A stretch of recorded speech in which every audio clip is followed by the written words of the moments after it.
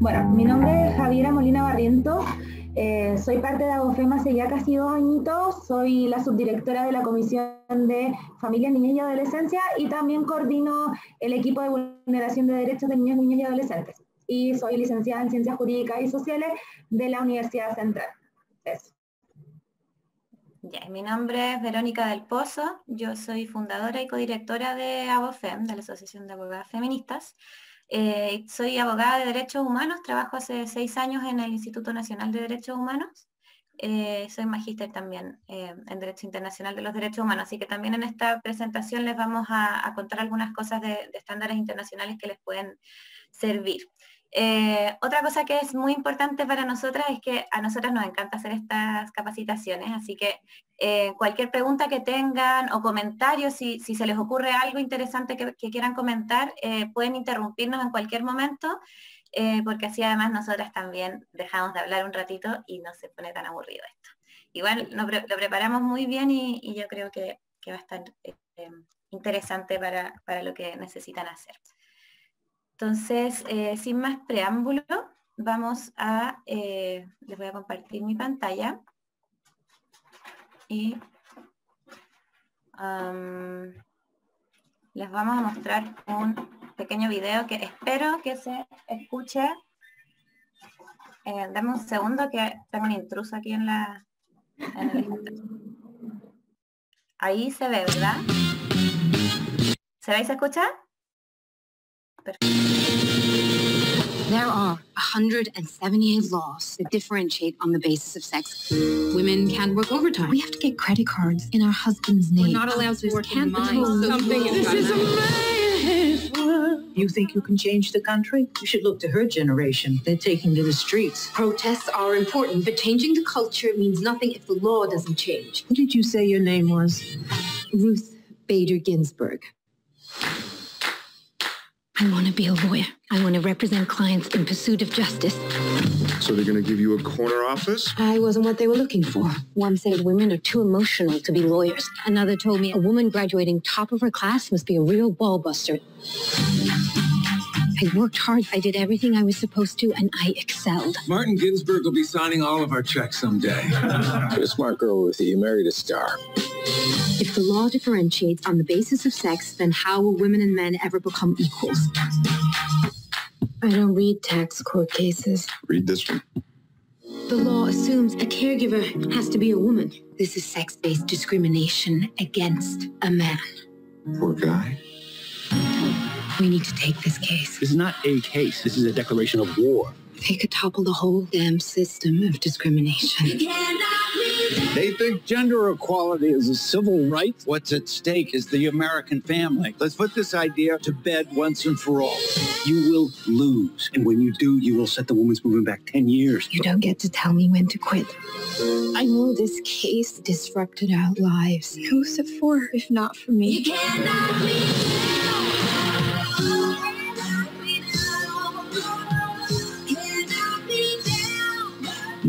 Ready for this your whole life. So go in there and let the judges see the Ruth Ginsburg I know. We're not asking you to change the country. That's already happened without any court's permission.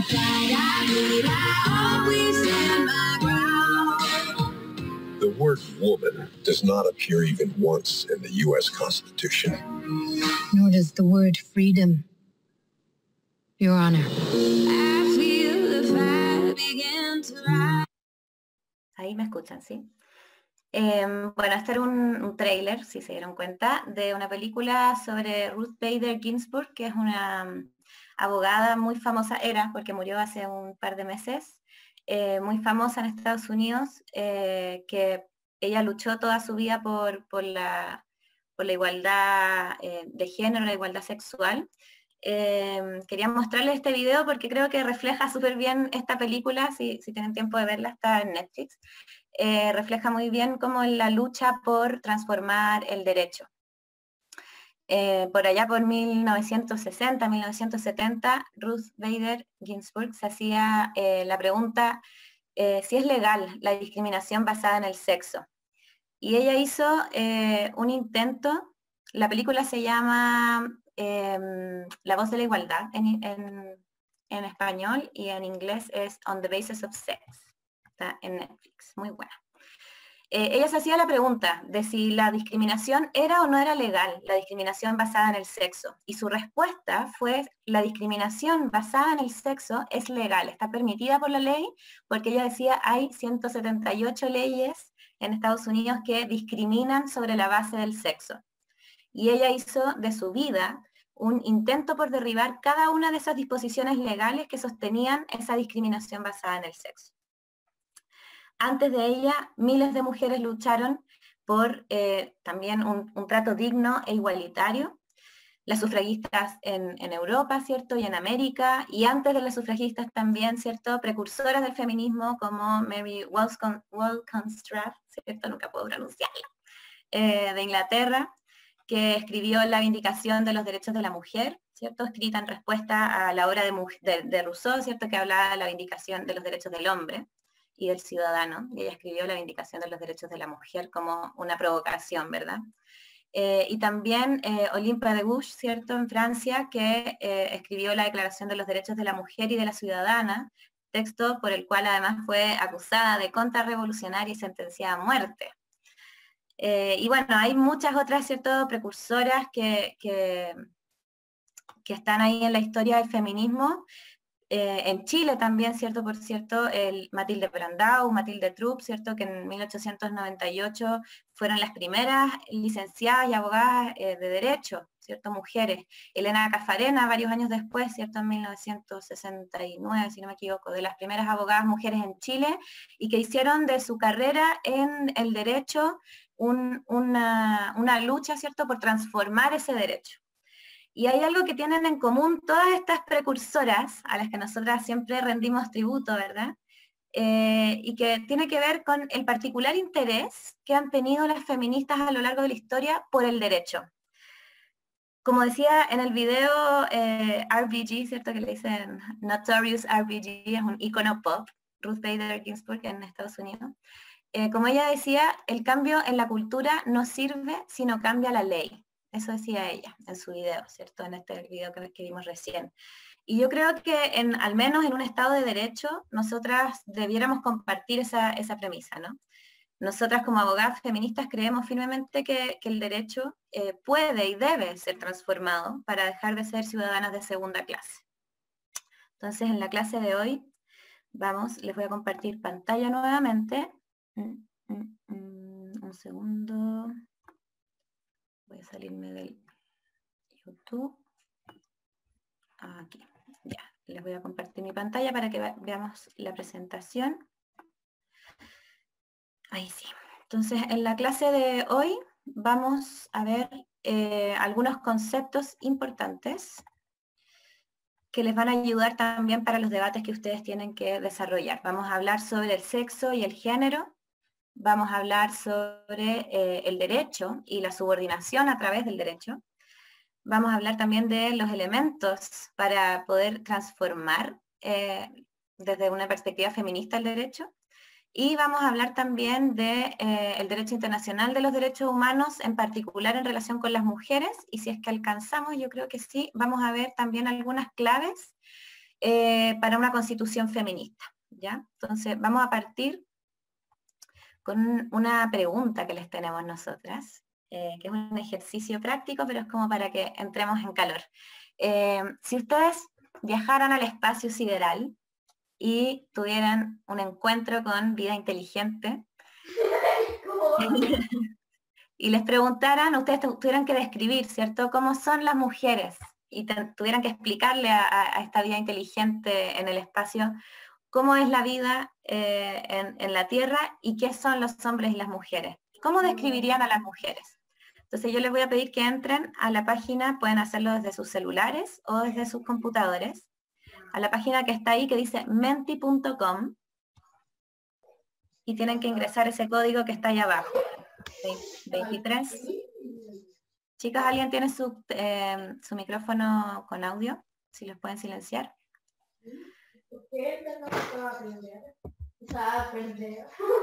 Antonio, voy a silenciarte.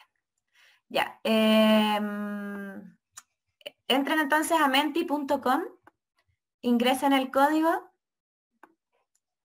y ahí pueden contestar lo que ustedes, las características que a ustedes se les ocurran para explicarle a los extraterrestres, ¿cierto? Que son las mujeres. ¿Cómo son las mujeres?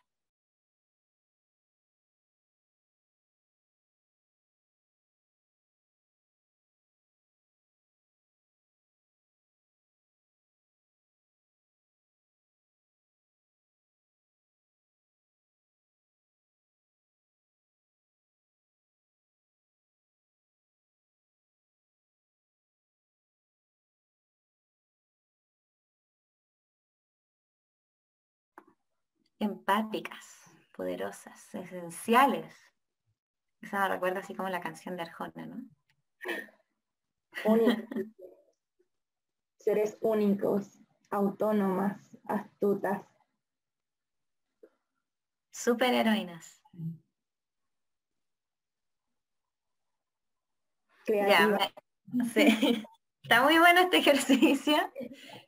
Em, yo les quiero contar una cosa. Este ejercicio yo lo hago siempre cuando hago clases sobre género. Y en general, las respuestas son... eh, Alguien tiene su audio de nuevo prendido. Gracias.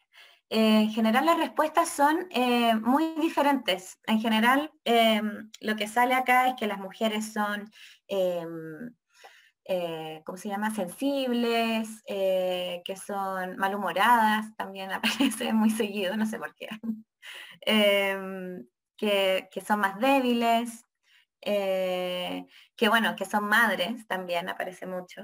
Aquí me, me llama mucho la atención que la mayoría de, lo- de los, em, de los adjetivos que ocupan para describir a las mujeres tienen que ver con esto de ser fuertes, luchadoras, empoderadas, eh, ¿cierto? Magníficas, superheroínas. Em, me llama mucho la atención alguien que dice también ser que ha sufrido mucho, soñadoras, creativas. Aquí no hay ninguna característica que sea propia de las mujeres, creo. Si yo tuviera que explicarle a un extraterrestre qué son las mujeres, aquí no aparece nada que tiene que ver con lo que realmente uno podría como hacer para diferenciar un hombre y una mujer, porque todos estos adjetivos también pueden decirse de, muchos hombres, ¿no? Personas con vulva.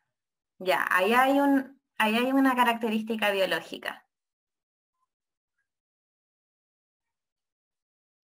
Hay una característica que dice diversas. Diversas, sí. Ser que se siente mujer, también eso es importante, lo vamos a hablar ahora sobre el género.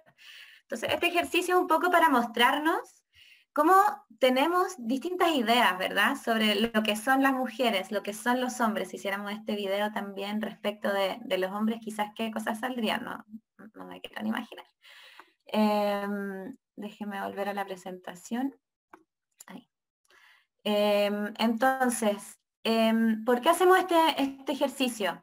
Porque es muy interesante eh, fijarnos en qué es lo que em, pensamos de los hombres y de las mujeres y darnos cuenta que tenemos ciertas ideas que afortunadamente veo que han ido cambiando, ¿no? De, respecto a lo que son los hombres y las mujeres. Hoy día leo con mucho agrado las respuestas de ustedes, de que son en el fondo estas mujeres súper heroínas y empoderadas, que, que está muy bueno porque antes salían cosas muy distintas en clase. Em, pero también eh, resulta como curioso, ¿no? Eh, que sean puras características que tienen que ver con la personalidad de las mujeres. Y, realmente como hay diferencias entre las mujeres y los hombres que son mucho más evidentes y que nos salieron acá. Entonces, ¿qué concluimos de este ejercicio? En primer lugar, que existen características biológicas, ¿cierto? Primarias y secundarias, que eh, son, digamos, como lo, los, eh, las definiciones más evidentes respecto de lo que es un hombre y una mujer, ¿no? Es decir, el sexo, que es distinto del género, es lo que está definido por esas características. Tener vulva, eh, tener características eh, sexuales secundarias, ¿cierto? Como los hombres la barba, las mujeres los pechos. Todas esas son características biológicas que, po que podrían ayudarnos a distinguir a un hombre y a una mujer. Pero en sus respuestas también salió, y es muy interesante, alguien que decía ser que se siente mujer. Y eso también es muy relevante porque, al menos desde AOFEM, no tenemos una perspectiva biologicista sobre lo que significa ser mujer, sino que creemos que eh, basta con la experiencia cierto interna, la identidad de género mujer, para creer que una mujer o una persona que biológicamente no nació mujer puede ser una mujer también, porque lo que importa en ese sentido es la experiencia de ser mujer. Y ahí es donde entra el género. El género es distinto del sexo, porque el género no tiene que ver con lo biológico, con estas características inmutables, ¿verdad? Físicas, sino que es una construcción social sobre el sexo. Son ideas que tenemos sobre cómo es una mujer y cómo es un hombre. Entonces, la mayoría de las respuestas que ustedes acaban de dar tienen que ver en realidad con el género y no con el sexo de una mujer. Tienen que ver con las ideas que ustedes tienen hoy día, en el siglo XXI, ¿cierto? En el año 2020, de cómo son las mujeres hoy día, ¿cierto? Son mujeres empoderadas, superheroínas, multifacéticas, decían por ahí. Eso tiene que ver con el rol histórico que hemos tenido las mujeres de tener que estar criando por un lado, ¿cierto? Trabajando por el otro, limpiando la casa con la otra mano y así como un pulpito, tratando de sacar todas las tareas de la casa. Entonces, todas esas características que nosotros tenemos en nuestra cabeza, esto que, ah, que las mujeres son multifuncionales y los hombres no, los hombres solo pueden hacer una cosa a la vez, ¿verdad? Em, esas cosas que, tenemos como, preconcepciones tienen que ver con el género, tienen que ver con esta idea de, eh, de ser mujer o ser hombre. Entonces, ¿qué es el género? Para que vayamos aclarando conceptos el género es un conjunto, ¿cierto?, de ideas, creencias y atribuciones sociales que se construyen en cada cultura y momento histórico con base en la diferencia sexual. Esta eh, definición es de Marta Lama, ¿cierto?, una antropóloga feminista mexicana, eh, en donde ella eh, describe en 1966 lo que ella considera una definición del género. Entonces, es un conjunto de construcciones sociales, de ideas que tenemos, y que son culturales y van cambiando, porque hace 10 años atrás esas respuestas que ustedes dieron no eran las mismas. Hace 10 años atrás las respuestas eran que eran débiles, que eran sensibles, que había que cuidarlas, que eran frágiles. Hoy día son empoderadas y son multifacéticas y superheroínas. Y está súper bien que eso cambie, pero esa es una construcción social en base a las diferencias sexuales. Y ustedes me podrán decir entonces cuál es el problema de que existan ideas sobre la diferencia sexual, o sea, cuál es el problema con que tengamos ideas sobre cómo es la mujer y, sobre cómo es el hombre. Y la verdad es que si estas creencias fueran inofensivas o neutras desde un punto de vista del poder, sería quizás muy distinto, ¿ya? Pero el problema es que las diferencias de género dividen las funciones sociales entre lo femenino y lo masculino, subordinando siempre a las mujeres en esas funciones, poniéndolas en un lugar inferior de protección, ¿cierto?, al de los hombres. No es solo que seamos distintos, porque eso no sería un problema. El problema es que la valoración social que se hace sobre esas diferencias es distinta y es subordinada. Es el hecho de que las labores que se le atribuyen a las mujeres, que están todas ligadas al cuidado, no son reconocidas como de igual valor que el trabajo remunerado que realiza el hombre, ¿cierto? Que sale a trabajar, a ganar dinero. El trabajo de las mujeres ni siquiera es remunerado. Es el hecho de que lo femenino sea considerado en muchos casos un insulto a la masculinidad hegemónica. ¿Cuántas veces no han escuchado ustedes hablar o que alguien insulta, ¿cierto?, a un hombre heterosexual diciéndole que es niñita, que, o que no llore porque parece niñita, o que, o que tira la pelota como niñita todas esas cosas son usadas como insultos. Entonces, el problema, eh, el problema central con el género no es el género en sí mismo, no es que tengamos ideas sobre cómo son las mujeres. El problema es que las ideas que tenemos sobre cómo son las mujeres son ideas que las subordinan al hombre. Y entonces encierran a las mujeres en estereotipos de género que las limitan a las mujeres y a los hombres, ¿ah? porque esto nos afecta eh, por todos lados. El problema en el fondo es que estos roles que establecemos para ambos sexos son una forma de encasillamiento que limitan la libertad y el desarrollo eh, en sus vidas. Los hombres no pueden llorar, no pueden ser vulnerables, no pueden maquillarse, no pueden cuidar. Son todos estereotipos que perjudican a hombres y a mujeres. Entonces, aunque por supuesto las mujeres siempre salen más perjudicadas en este, en este orden, ¿cierto? Porque son además víctimas de violencia y, que, que, se enseña como parte del rol masculino viril hegemónico. Entonces, no sé si se entiende hasta acá como lo que es el sexo por un lado, que son estas características biológicas, lo que es el género, que es esta construcción social sobre los sexos, y el problema que tenemos de que el género esté construido con ideas que en el fondo ponen a la mujer en un lugar del espacio privado, doméstico, ¿cierto?, de cuidado, y al hombre, por otro lado, en un rol de, proveedor, ¿cierto?, y de, y de fortaleza. Entonces se genera culturalmente una desigualdad que es muy difícil de revertir. ¿Se entiende hasta aquí, no? Javi, yo no estoy viendo las preguntas, entonces si tú me ayudas con el chat. Entiendo. Ya. Eh, Javi, tú, tenías aquí algunos ejemplos de, de subordinación de las mujeres. Sí, en realidad es tanto mujeres como niños y adolescentes. Em, voy a darles unas cifras de la ONU respecto también del apoyo que tuvo para las movilizaciones a nivel internacional del 8M. ¿ya? Por ejemplo, nos señala en cifras que eh, em, 500.000 niñas menores de 18 años en el mundo son víctimas de tráfico sexual cada año. Dos de cada tres personas analfabetas en el mundo son mujeres. La mitad de las mujeres de países en desarrollo se casarán antes de los 20 años. ¿ya? 200 eh, millones de mujeres han sufrido algún tipo de mutilación genital. 73 millones de niñas eh, en, este, en este minuto no van a la escuela en el mundo. Solo el 48% de las mujeres trabaja ya eh, en el mundo. Después, las mujeres representan el 25% de escaños parlamentarios en el mundo, o sea, una cifra absolutamente bajísima, 2.5 veces más de trabajo doméstico no, no remunerado realizan las mujeres en el mundo. Solo el 28% de las mujeres puede acceder a algún tipo de baja eh, de perdón, algún tipo de beneficio por eh, la maternidad. ¿Ya? Solo 63 países del mundo ofrecen este derecho.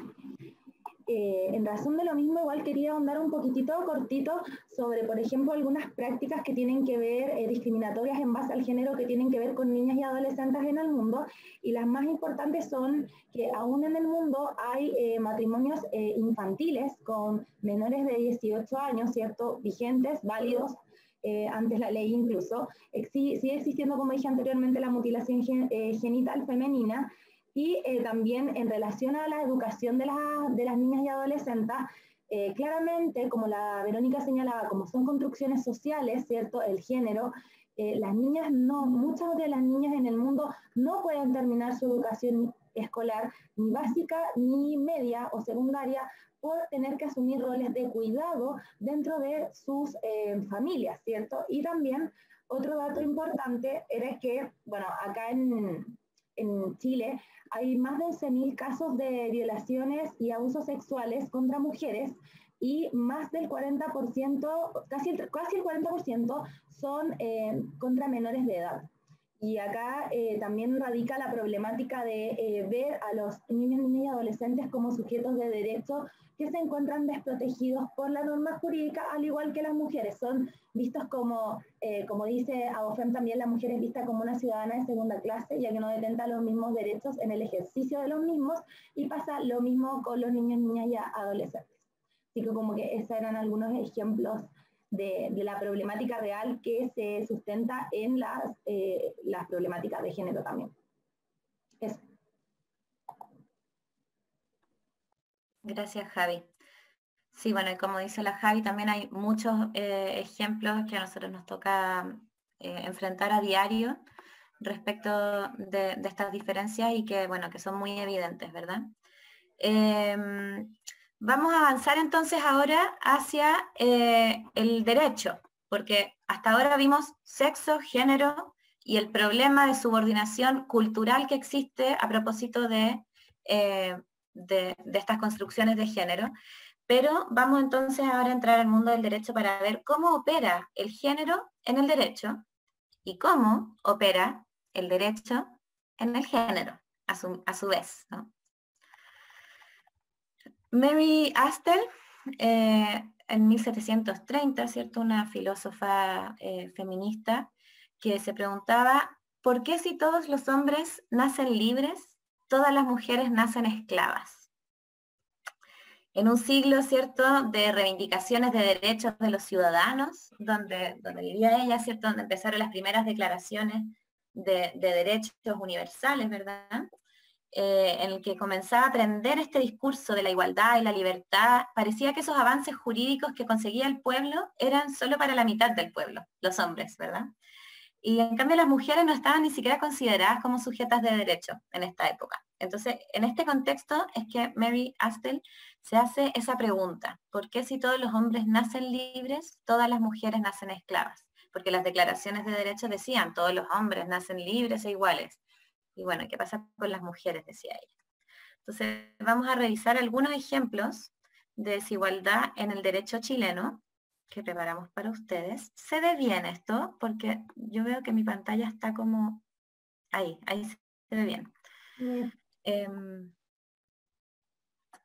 eh, Javi, no sé si quieres revisar tú estos ejemplos.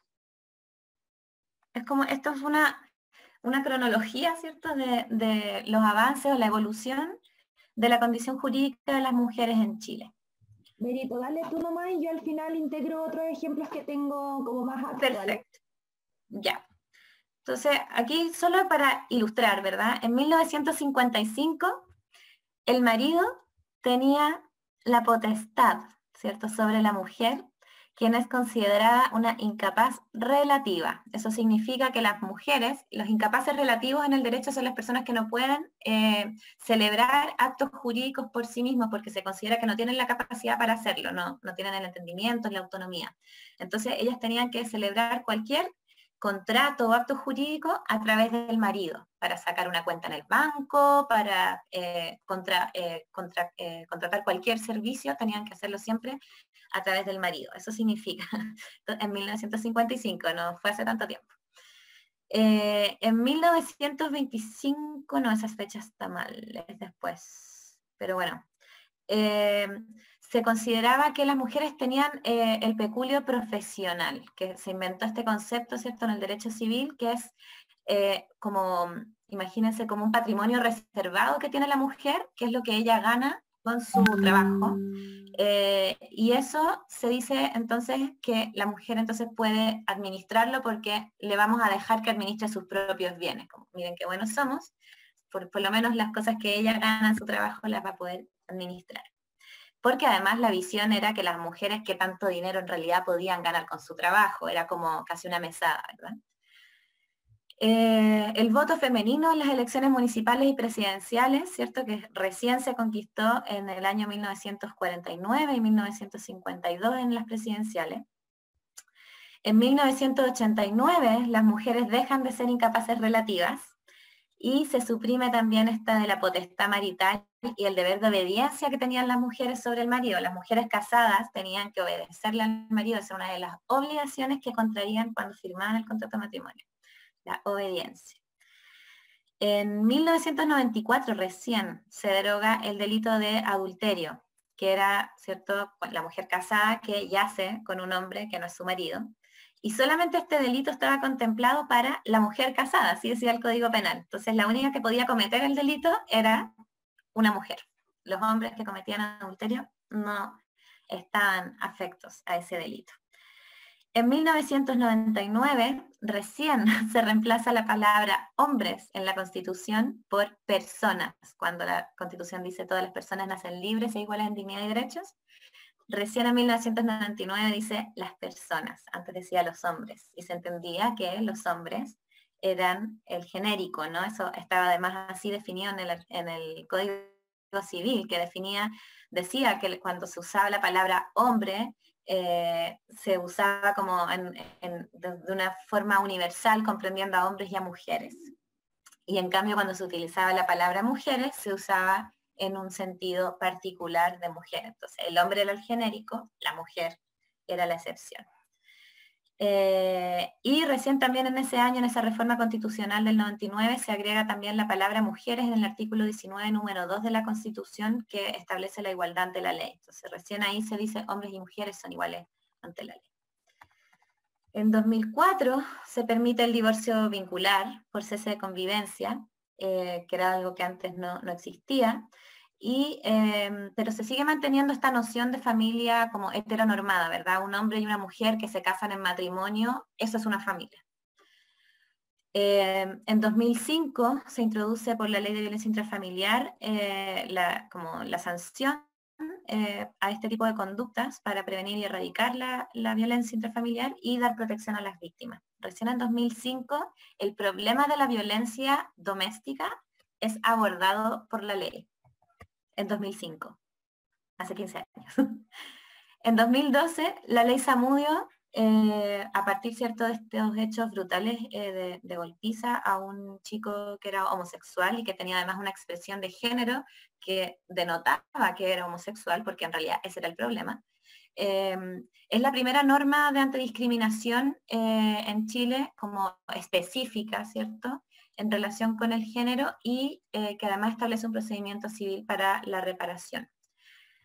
Después vienen ya como algunos avances de los últimos años, ¿cierto? El 2015, eh, con el acuerdo de unión civil, se permite la unión recién de personas del mismo sexo y también regular las relaciones de hecho, ¿cierto? Sin que exista este matrimonio tradicional, pero que igual tiene derechos que son distintos al matrimonio, entonces no es una regulación exactamente igual sobre todo en el tema de la adopción, porque la ley de adopción establece como preferencia eh, las familias matrimoniales todavía. El 2017 eh, recién se aprueba cierto el aborto en tres causales, que sabemos que además ha tenido muchos problemas de implementación en Chile. Y en 2019 eh, conquistamos, ¿cierto? A partir del estallido social, eh, la paridad para el órgano que elaborará la nueva constitución política. Recién entonces tenemos una norma que habla de paridad en, un órgano constituyente en Chile o en un órgano legislativo de cualquier tipo, porque nunca se había hablado de paridad antes. Entonces, eh, estos son algunos ejemplos que a mí me indignan, no sé a ustedes, pero yo encuentro que es como, como que uno lee la historia de las mujeres en la ley en Chile y en el mundo y realmente Em, bueno, no sé, es, indignante. No sé, Javi, ¿tú tenías otros ejemplos que dar? Sí, yo tengo otros ejemplos, bueno, sujetándome a lo que dices también el tema de la sociedad conyugal, siento que uno de los regímenes matrimoniales, patrimoniales vigentes en Chile, el Código Civil aún señala que, bueno, el marido es el administrador de la sociedad conyugal y además dice que es el jefe de la sociedad conyugal. Es como lo más criticado por las profesoras de derecho porque no se le puede otorgar tal condición subjetiva, o sea, es el jefe de la sociedad conyugal.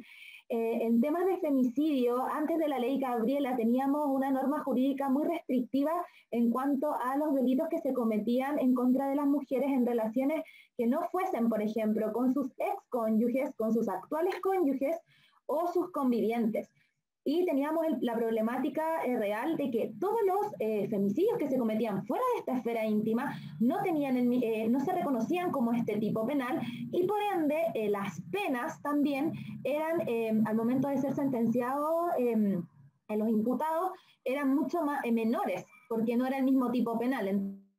Entonces, ocurría algo bien desagradable y deshumanizador con el, con el tema del femicidio. Ahora esto cambió y se ha abierto y se ha ampliado la figura del mismo. En temas de, como comentaba Lavero, también de la penalización del aborto, aunque se logró conquistar por el movimiento feminista el tema del el aborto en tres causales, aún entendemos que no es suficiente em, contar con estas tres causales para, porque finalmente se limita la autonomía del propio cuerpo de, que tenemos nosotras las mujeres sobre, nuestra, sobre nosotras mismas, las decisiones también de nuestra esfera íntima y también el tema de... Em, eh, por ejemplo, el tema de la objeción de conciencia que eh, algunas clínicas u hospitales pueden ejercer dentro de eh, los primeros tres meses en donde se pueden realizar eh, el aborto, ¿cierto?, dentro de las causales específicas. También eh, en la actualidad hay una ausencia de una legislación interna en Chile sobre eh, que sea estructural respecto de em, la violencia contra las mujeres en general. Y esto es súper importante porque hay un proyecto de ley en el Congreso hace años tramitándose que tiene que ver con un tratado internacional que es la Convención Belén do Pará, que busca erradicar todas las formas de violencia contra las mujeres. ¿Y por qué es tan importante que esto se materialice en la norma interna de nuestro país? Porque así también se pueden ir creando diversos tipos normativos diversas normas jurídicas específicas que nos puedan a nosotras ayudar, por ejemplo, al momento de denunciar en espacios laborales algún tipo de acoso, eh, por ejemplo, también ciertas vulneraciones que sufren las mujeres en cuanto al género. Em, crear diversos tipos de, o sea, reconocer, perdón, diversos tipos de violencia que nos encuentran hoy reconocidos en nuestro ordenamiento interno. ¿Ya? También eh, algo muy relevante cuando se habla de la responsabilidad civil, por ejemplo, uno de los elementos en los que se conforma esta responsabilidad es el dolo, ¿cierto? La, la, mala intención de querer hacer algo para perjudicar a otra persona, o la culpa, que es como la negligencia. Y en los tipos de culpa señala que hay una que se asemeja a los cuidados que tiene un buen padre de familia. También haciendo nuevamente alusión a esta figura del pater familia, muy reconocida por el derecho del hombre, como, como lo reconocemos en nuestro pensamiento androcéntrico, y eh, bueno, también se está tramitando en este momento, corrígeme Vero si me equivoco, el tema de la indignidad para suceder, ¿cierto? Para recibir una herencia por razones de haber cometido un femicidio. Y eh, hace poquito se conquistó también el tema del el impedimento para contraer segunda nupcia de las mujeres. ¿ya? Las mujeres estaban limitadas por nuestro Código Civil para, por ejemplo, se terminaba su primer matrimonio y tenían que esperar un espacio de tiempo eh, que si no me equivoco, pero eran 270 días. Sí, era como el puerto, no me acuerdo cómo se llama. Como el tiempo que eh, podía gestarse una vida dentro, dentro del vientre materno para poder recién contraer eh, segundas nupcias. Y claramente esta distinción no aplicaba para los hombres. Y bueno, también eh, en última instancia la definición del matrimonio que aún sigue vigente en el Código Civil en el artículo 102, que dice que una de las finalidades del matrimonio es procrear. Y claramente eso hoy no, no va con eh, las nuevas estructuras de género que se están cierto reconociendo en la sociedad. Estos eran mis ejemplos. Gracias, Javi.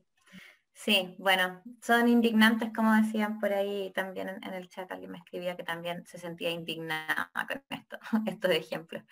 Entonces, vamos recapitulando. Tenemos por un lado que existen características de género, ¿cierto? Ideas construidas sobre los sexos femenino y masculino. Tenemos los sexos biológicos, ¿cierto? O asignados al nacer.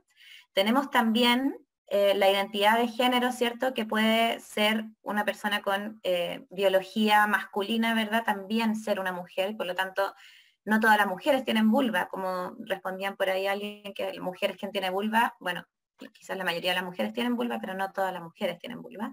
Eh, entonces tenemos esto de que el género es fluido, el sexo, hay personas que también son intersexuales, que tienen sexo, no tienen características biológicas tan definidas también. Entonces, hay ahí como una, mezcla que en realidad es más social que, biológica, que distingue a las mujeres de los hombres. Y estas distinciones eh, son, son de subordinación para las mujeres. Y en el derecho esto se ha notado, se ha notado en los ejemplos que, les mostraba eh, recién.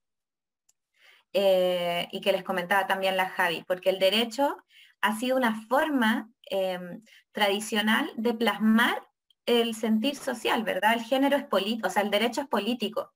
El derecho es una representación de lo que la sociedad en determinados momentos eh, estima que, que es lo, lo, bueno, ¿verdad? Y que es lo malo. Entonces se castigan ciertos actos y se, y se, em, y se promueven otros, ¿verdad? Y se promueven ciertas conductas y ciertos tipos de familia y ciertos tipos de identidades. Entonces, eso se muestra muy claramente con estos ejemplos que les hemos dado nosotras. Y a partir de toda esta historia jurídica, ¿cierto?, eh, que hemos eh, tenido en, el, en, nuestro país y en el mundo, Nosotros eh, vemos entonces que el derecho nunca ha estado como construido para las mujeres. Y eso es lo que han afirmado las feministas por siglos, ¿verdad? Y yo les resumo aquí en esta lámina en cuatro puntos eh, las críticas feministas al, derecho, que yo creo que son como los principales puntos que las feministas han puesto sobre la mesa cuando hablan de, del derecho y lo critican, ¿verdad? porque las feministas siempre han criticado el derecho y no creen que el derecho pueda, o muchas no creen que el derecho pueda servir como una herramienta transformadora para las mujeres, eso lo vamos a ver también hacia el final. Entonces, lo primero que dicen acá las feministas es eh, que hay un problema en el derecho porque existe eh, casos de desigualdad formal, es decir, casos en donde la norma jurídica excluye expresamente o pone en una posición inferior a las mujeres y las diversidades. Los ejemplos que nosotros les habíamos dado, ¿cierto? De que se obligaba a las mujeres a depender del marido cuando la mujer estaba casada, por ejemplo, cuestión que aún persiste en la sociedad conyugal, en todo caso, en algunos, eh, algunos eh, ámbitos. Esas cuestiones son desigualdades formales que existen en la legislación y que todavía eh, afectan a las mujeres. Es decir, todavía existen leyes que expresamente ponen en una situación de inferioridad a las mujeres o a las diversidades sexuales, ¿verdad? la, ley de adopción también es un ejemplo que a mí me parece también muy indignante que en, el año 2020 todavía la ley de adopción eh, diga expresamente que se prefieren las familias matrimoniales y por lo tanto, como el matrimonio solo puede ser entre un hombre y una mujer, eh, se excluye a, las parejas del mismo sexo de poder adoptar en Chile. Em, otra crítica que le han hecho, en todo caso quedan pocas ya normas que expresamente, afortunadamente, discriminan a las mujeres y a las diversidades. Pero hay otra, otro problema con el derecho, dice la feminista, porque a veces la norma no dice expresamente que quiere discriminar a las mujeres, a veces la norma es neutra, pero las feministas decimos no, pues, es falsamente neutra, porque existen muchos casos en que el derecho, cuando se aplica de una forma neutra, es decir, sin hacer distinción de sexo, genera resultados discriminatorios. Por ejemplo, lo que pasa en la participación política de las mujeres. Cuando el derecho dice y fija reglas eh, como neutras, ¿cierto?, para regular la participación de las personas en la política, el derecho no toma en consideración las dificultades adicionales que tienen las mujeres para participar en política el hecho de que las reuniones en los partidos políticos se hacen en horarios donde nosotras estamos cuidando a nuestros hijos y nuestras casas, el hecho de que eh, a las mujeres no se les escucha muchas veces en esas reuniones, que los hombres suelen tomar la palabra y las mujeres no, que los hombres tienen tiempo libre para hacer actividades políticas. Todas esas dificultades que son como reales y prácticas para que las mujeres participen en la política en igualdad de condiciones, si es que la ley es neutra, va a generar de todas formas un resultado discriminatorio. Porque cuando el derecho pretende que todas las personas son iguales, iguales al hombre blanco y de clase alta, que es el, sujeto del derecho, y no introduce correcciones a favor de las mujeres, en, ese caso termina teniendo un resultado discriminatorio. Y eso, dicen las feministas, es un problema, porque el derecho lo que debiera hacer en esos casos es no ser neutro, no tener las mismas reglas para todos, sino tener mecanismos de corrección que permitan que esa situación real y fáctica que tienen las mujeres, que les impiden gozar de sus derechos, puedan eh, ser removidos esos obstáculos.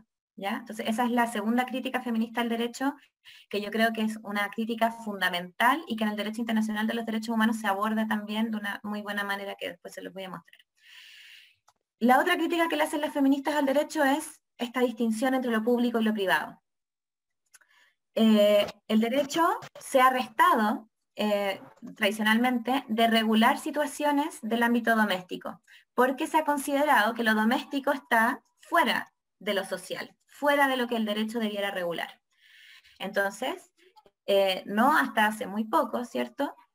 las relaciones de pareja o de noviazgo que estaban en nuestra vida íntima no tenía ninguna regulación, ninguna. No, había normativa que regulara lo que pasaba en nuestras camas, en nuestros pololeos, en nuestros noviazgos. Ha sido ese un espacio muy abandonado por el derecho y las mujeres se encuentran desprotegidas en ese espacio. basta, de hecho, con recordar la respuesta que solían dar los carabineros, ¿cierto?, frente a las denuncias de violencia intrafamiliar hace unos años. Decían los carabineros cuando una mujer denunciaba, le decían, mijita, los asuntos de sábana se arreglan en casa, vaya, vaya a hacer las paces con su, con su marido. No me venga a molestar aquí con un asunto que es privado. Entonces, y esa respuesta que daban los carabineros la daban porque en el derecho no había una respuesta para ese tipo de, de situaciones y de violencia. Entonces, esta distinción entre lo público y lo privado, el trabajo que está regulado en el derecho, es el trabajo remunerado, ¿cierto? Es el trabajo que desempeñamos fuera de nuestros hogares. Todo el ámbito del trabajo doméstico, el trabajo de cuidados que hacemos con niños, niñas, también con personas enfermas eh, o personas ancianas, no está regulado. Nadie regula eso. Y esas personas que se dedican a esas actividades no tienen ninguna protección de la ley. ¿Por qué? es el ámbito privado y el derecho no lo regula.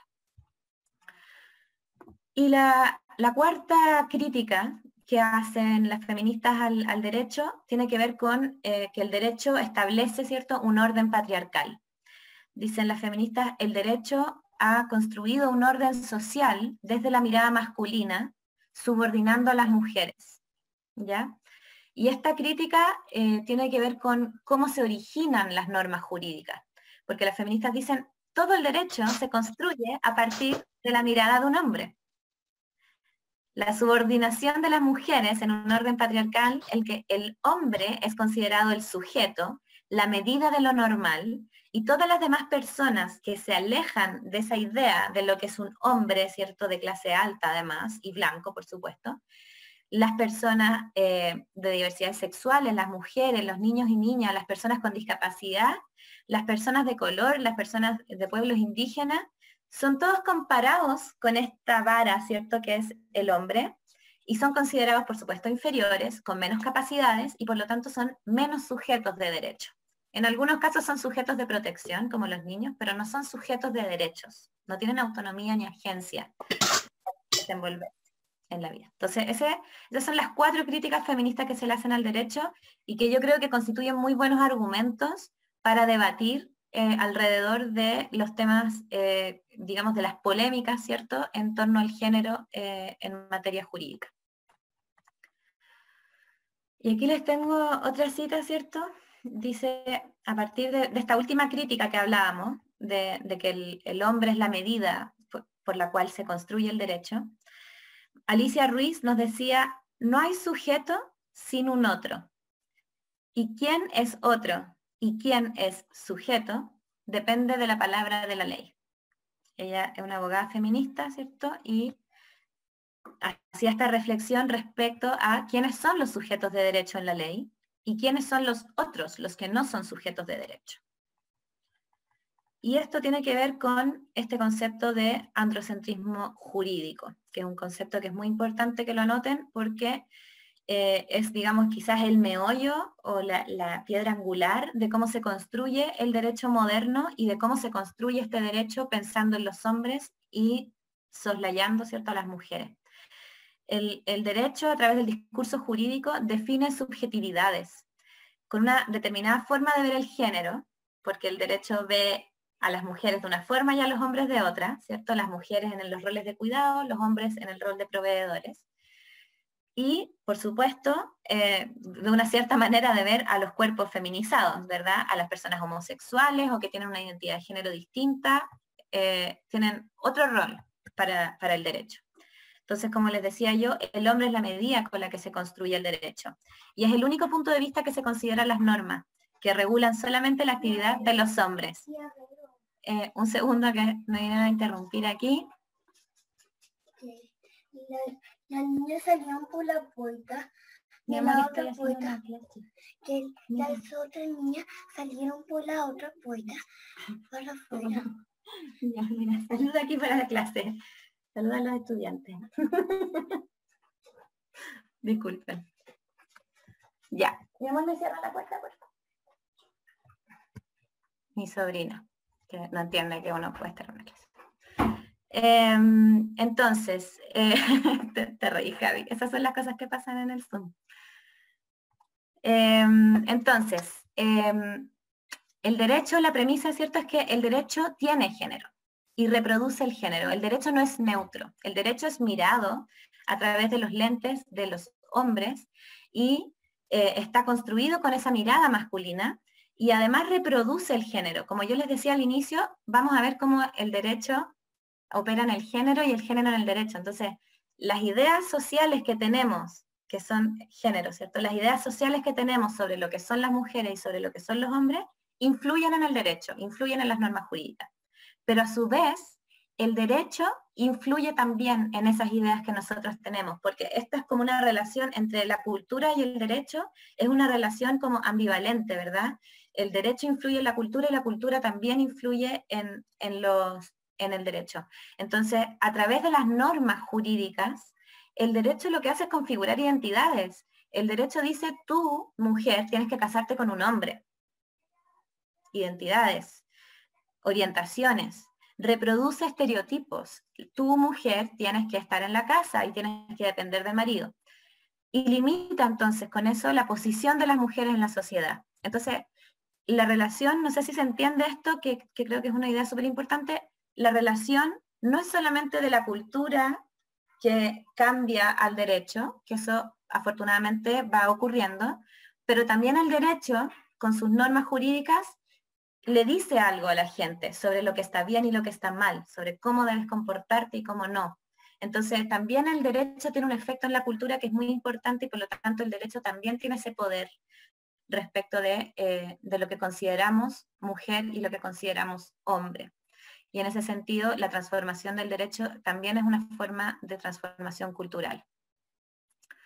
Para terminar la clase, porque ya estamos un poquito pasados de la hora, em, quiero eh, contarles solamente brevemente algunas cuestiones que les pueden servir para los debates que tienen que ver con eh, el derecho internacional de los derechos humanos y cómo las mujeres han sido consideradas en, en, este derecho internacional. Ya nos vamos a salir ahora del derecho chileno nacional y vamos a entrar al ámbito internacional del derecho de Naciones Unidas y de la OEA, ¿cierto? Que son los que rigen en Chile, el, el sistema de la ONU y de la Corte Interamericana de Derechos Humanos.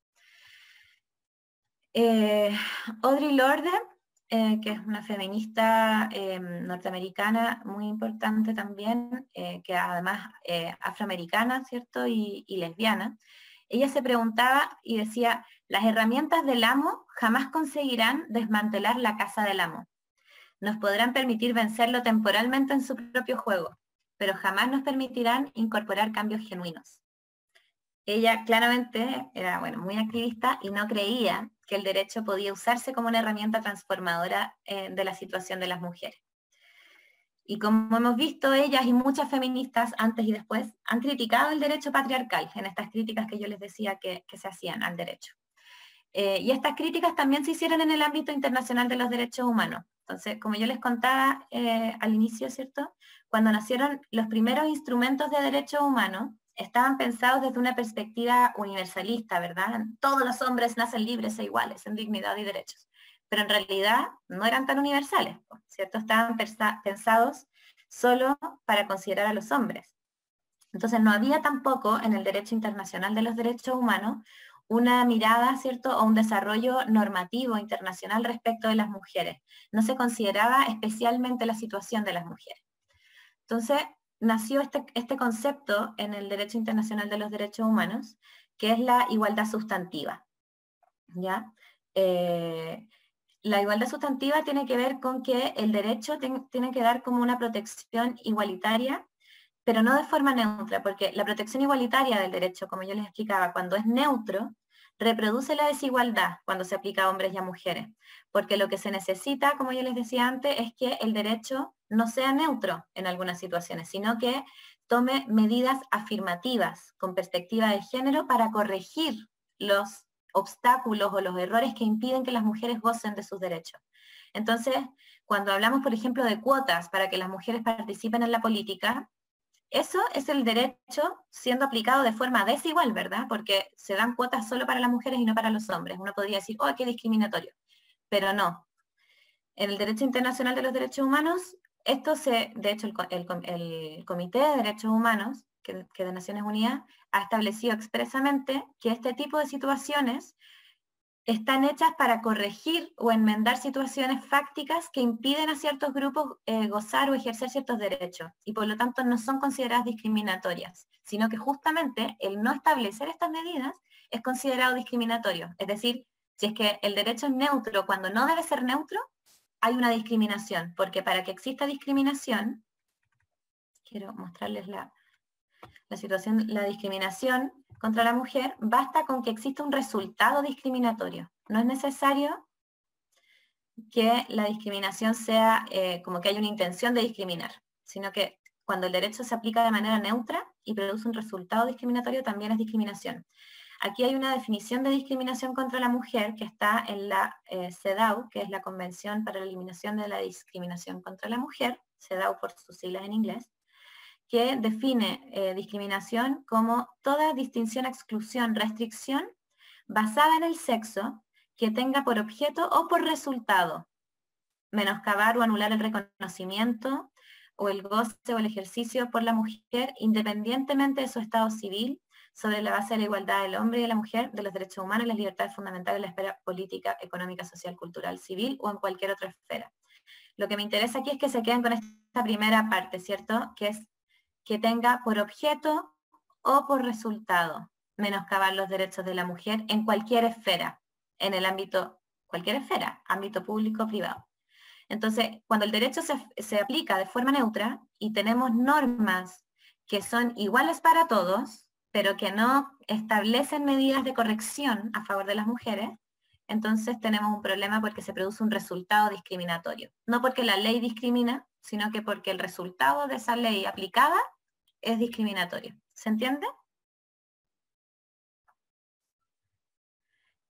Y aquí yo les puse eh, los principales cuerpos normativos que regulan el derecho de las mujeres en el derecho internacional de, los derechos humanos, eh, donde ustedes pueden buscar estas normas em, y pueden eh, encontrar buenos argumentos para sus debates, ¿verdad? especialmente relevante la CEDAW. La CEDAW tiene además un comité que es el Comité CEDAW, que ha desarrollado, además de la convención, porque las convenciones no son muy largas en general, ni, muy no, desarrollan mucho las ideas, el Comité CEDAW eh, como que interpreta esta convención y desarrolla documentos que se llaman observaciones generales, y ahí desarrollan un montón todos los temas sobre discriminación contra las mujeres. Esto les puede servir muchísimo para, para sus debates. Y también está la Convención Belém do Pará, que es del año 66, que es en el ámbito interamericano, o sea, eh, rige solamente en el ámbito de la OEA. Eh, y esta convención es, para eliminar la, o sea, perdón, la violencia contra las mujeres. ¿ya? Y también lo que les puede servir mucho es la jurisprudencia de la Corte Interamericana de Derechos Humanos respecto a algunos casos de, de, mujeres que después se los puedo compartir si quieren nos pueden escribir y yo les puedo mandar ahí alguna jurisprudencia interesante. Eh, vamos a terminar con eso, em, porque estamos pasaditos de la hora. Eh, yo solo quería terminar, em, y perdón que me, que me, extienda, pero es que creo que esto es demasiado importante en el contexto actual. Em, eh, estamos en un contexto como de cambio constitucional que es, inaudito en Chile, ¿cierto? nunca, nunca había ocurrido que fuéramos a escribir democráticamente una constitución. Entonces solo me tomaré dos minutos para enunciar cuatro cosas que consideramos nosotras claves para el próximo proceso constituyente. Em, primero, que la constitución eh, que vamos a, escribir tenga una cláusula de igualdad, es decir, un artículo que hable sobre la igualdad, que considere categorías sospechosas de discriminación, es decir, que diga que no se puede discriminar por el sexo, por el género, por la identidad de género, por la orientación sexual, por la discapacidad, el color, la raza, como entre más condiciones o categorías se enumeren en una cláusula de igualdad, es más fácil después los tribunales probar eso porque se establece como una especie de presunción. Entonces es muy importante que, nos tomemos el tiempo de enumerar esas categorías. Y en el derecho internacional de los derechos humanos, hay los instrumentos más nuevos han ido enumerando cada vez más categorías. Y eso es muy útil, porque en el fondo se, establece una presunción de que cuando hay una diferencia basada en una de esas condiciones, parece que hay discriminación, por eso se llama categorías sospechosas de discriminación. Eh, y la cláusula de igualdad también eh, debiera obligar al Estado a adoptar medidas afirmativas, es decir, medidas que diferencian a las personas, toman en cuenta las diferencias y establecen correcciones para eliminar los obstáculos a los que esas personas se enfrentan. Eh, otra cuestión que es importante para tener una constitución feminista es la redistribución del poder tener órganos estatales paritarios, pensar en tribunales de justicia paritarios conformados por mujeres, eh, porque las mujeres podemos ver los problemas desde una perspectiva y una óptica distinta que los hombres y podemos entonces juzgar con una perspectiva diferente. Eh, promover la participación política de las mujeres en el Congreso y en todos los otros espacios de decisión y remover los obstáculos que existen para que las mujeres participen. Eh, que la Constitución también establezca un Estado social de derechos, es decir, eh, que el Estado se haga cargo de garantizar los derechos sociales para todas las personas. ¿Por qué? Porque sabemos que la pobreza es lo que mantiene a las mujeres en situaciones de mayor opresión. Entonces, lo que necesitamos es que el Estado se haga cargo de los problemas sociales siendo un garante de esos derechos y no en, como el sistema neoliberal actual, ¿cierto? Que tengamos servicios a los que las personas tienen que pagar para poder tener eh, acceso a la educación o a la salud, eh, que impide que muchos grupos, y sobre todo las mujeres, puedan gozar de esos derechos mínimos y básicos, ¿cierto? Y por último, eh, que la Constitución tenga definiciones de familia y de trabajo doméstico que, sean amplias, ¿cierto? Y, diferentes a las que hoy día tenemos, entonces consagrar el reconocimiento del trabajo doméstico como, como otro tipo de trabajo, eh, la corresponsabilidad parental y de cuidados y la diversidad de formas de familia, yo creo que eso podría generar eh, una situación de igualdad para las mujeres eh, como en la práctica que, que son muy relevantes. Eso, terminamos nomás con esta, esta frase de Carol Smart, que, dice, ¿cierto? Y que yo creo que explica esta frase por qué las feministas trabajamos en el campo del derecho y por qué estamos aquí hoy día con ustedes también. Dice, no debemos caer en una nueva forma de determinismo que sugiera que el poder, en la medida en que construye, produce mujeres de algún modo predeterminadas, calculadas y débiles, sino que debemos reconocer que el derecho es un terreno en disputa teórica y política para las feministas y resulta necesario replantearse la relación entre el género y el, derecho.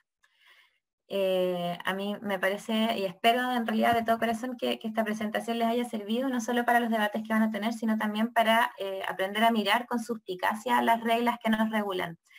Em, el derecho no está escrito en piedra, eh, podemos transformarlo y hoy día estamos frente a una oportunidad única de hacerlo. Tenemos eh, a puertas una nueva constitución y si bien quizás la mayoría de ustedes no van a poder votar eh, en esas elecciones que vienen y el plebiscito, eh, espero que puedan defender también estas ideas y cuestionamientos en diversos espacios.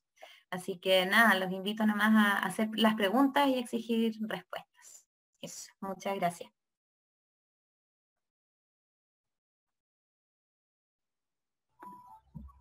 Muchas gracias a las dos expositoras. Ha sido una instancia muy enriquecedora. Yo creo que todos y todas las estudiantes están de acuerdo con ello. Ahora están más preparadas para los debates que se vienen, manejan los conceptos fundamentales y muchas fuentes de donde obtener información. Así que muchas, muchas, muchas gracias. Les recuerdo a todos que a continuación nos acompañarán dos expositoras más, pero yo creo que sería razonable que se tomen un break de unos cinco minutos para descansar antes de ello, si tienen alguna duda, recuerden que la pueden dejar o pueden hacerla con el micrófono encendido, aprovechando que nuestras invitadas todavía están aquí. Pero si no tienen ninguna duda, reitero el agradecimiento a ambas. El video será subido a YouTube próximamente. Y bueno, los estudiantes les recuerdo entonces que tienen cinco minutitos para descansar y luego vuelvan a esta videollamada, perdón, a esta reunión por Zoom, porque todavía nos quedan cosas por aprender. Gracias de nuevo. No sé si quedaron preguntas en el tintero, pero bueno, nos pueden también hacer llegar preguntas por correo y les podemos también hacer llegar la presentación, si les sirve.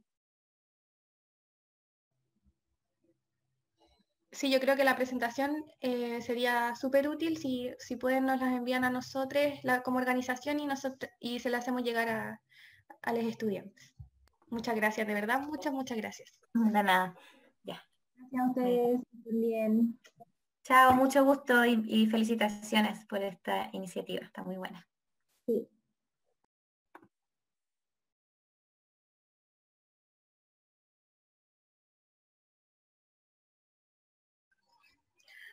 Hola a todas, las, a todas las personas presentes. Ya vamos a comenzar la segunda parte de este maravilloso taller.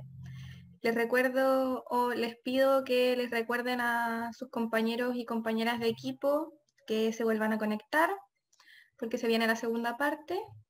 Voy a comenzar enseguida con la presentación de, nuestra, de nuestras expositoras.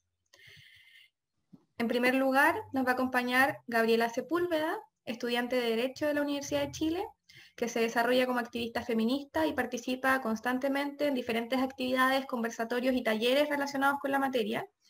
Sus principales áreas de interés son el derecho público, las políticas públicas y los estudios de género. Y también nos acompaña Catalina Rojas, que es estudiante de Derecho de la Universidad Católica, ayudante del programa de lectura y escritura académica de la misma, no, de la Facultad de Letras de la Universidad Católica, y además es voluntaria en diferentes actividades relacionadas con las artes, la cultura y la educación. Ambas son dos personas que tienen bastante experiencia en lo que es el debate y la argumentación y estoy segura de que nos van a ayudar a aterrizar un poco los conceptos que aprendimos en el taller anterior y a utilizarlos de manera estratégica en cualquier discusión que llevemos en, el día a día y más particularmente en, esta, en este torneo de debate. Así que eh, ya está, está volviendo gente. Yo creo que estamos a tiempo para no, no terminar tan tarde de iniciar ya la segunda parte y ustedes saben que pueden hacer cualquier tipo de pregunta a lo largo de la exposición para aclarar conceptos o cualquier inquietud que tengan la pueden compartir. Ya si esto es totalmente abierto, ojalá participen harto y aprovechen la oportunidad. Les dejo la palabra a nuestras invitadas. Perfecto. Muchas gracias, Antonia. Hola a todos, un gusto participar y estar con ustedes un sábado durante la mañana, bueno, casi tarde ahora. Como dijo Antonia, bueno, nosotras somos estudiantes de Derecho y tenemos harta experiencia en lo que respecta a debate, ya que fuimos debatientes escolares también en su momento. Por lo tanto, nuestro trabajo ahora va a ser, además de poder sistematizar eh, toda la información que entregó en eh, la exposición de AOFEM de las chicas, eh, será lograr aterrizar estos conceptos de manera que ustedes puedan utilizarlos como herramientas tanto en la preparación del debate como eh, en el debate mismo. Es decir, lo que nosotros buscamos a través de, esta actividad es poner en práctica la perspectiva de género e incitarles.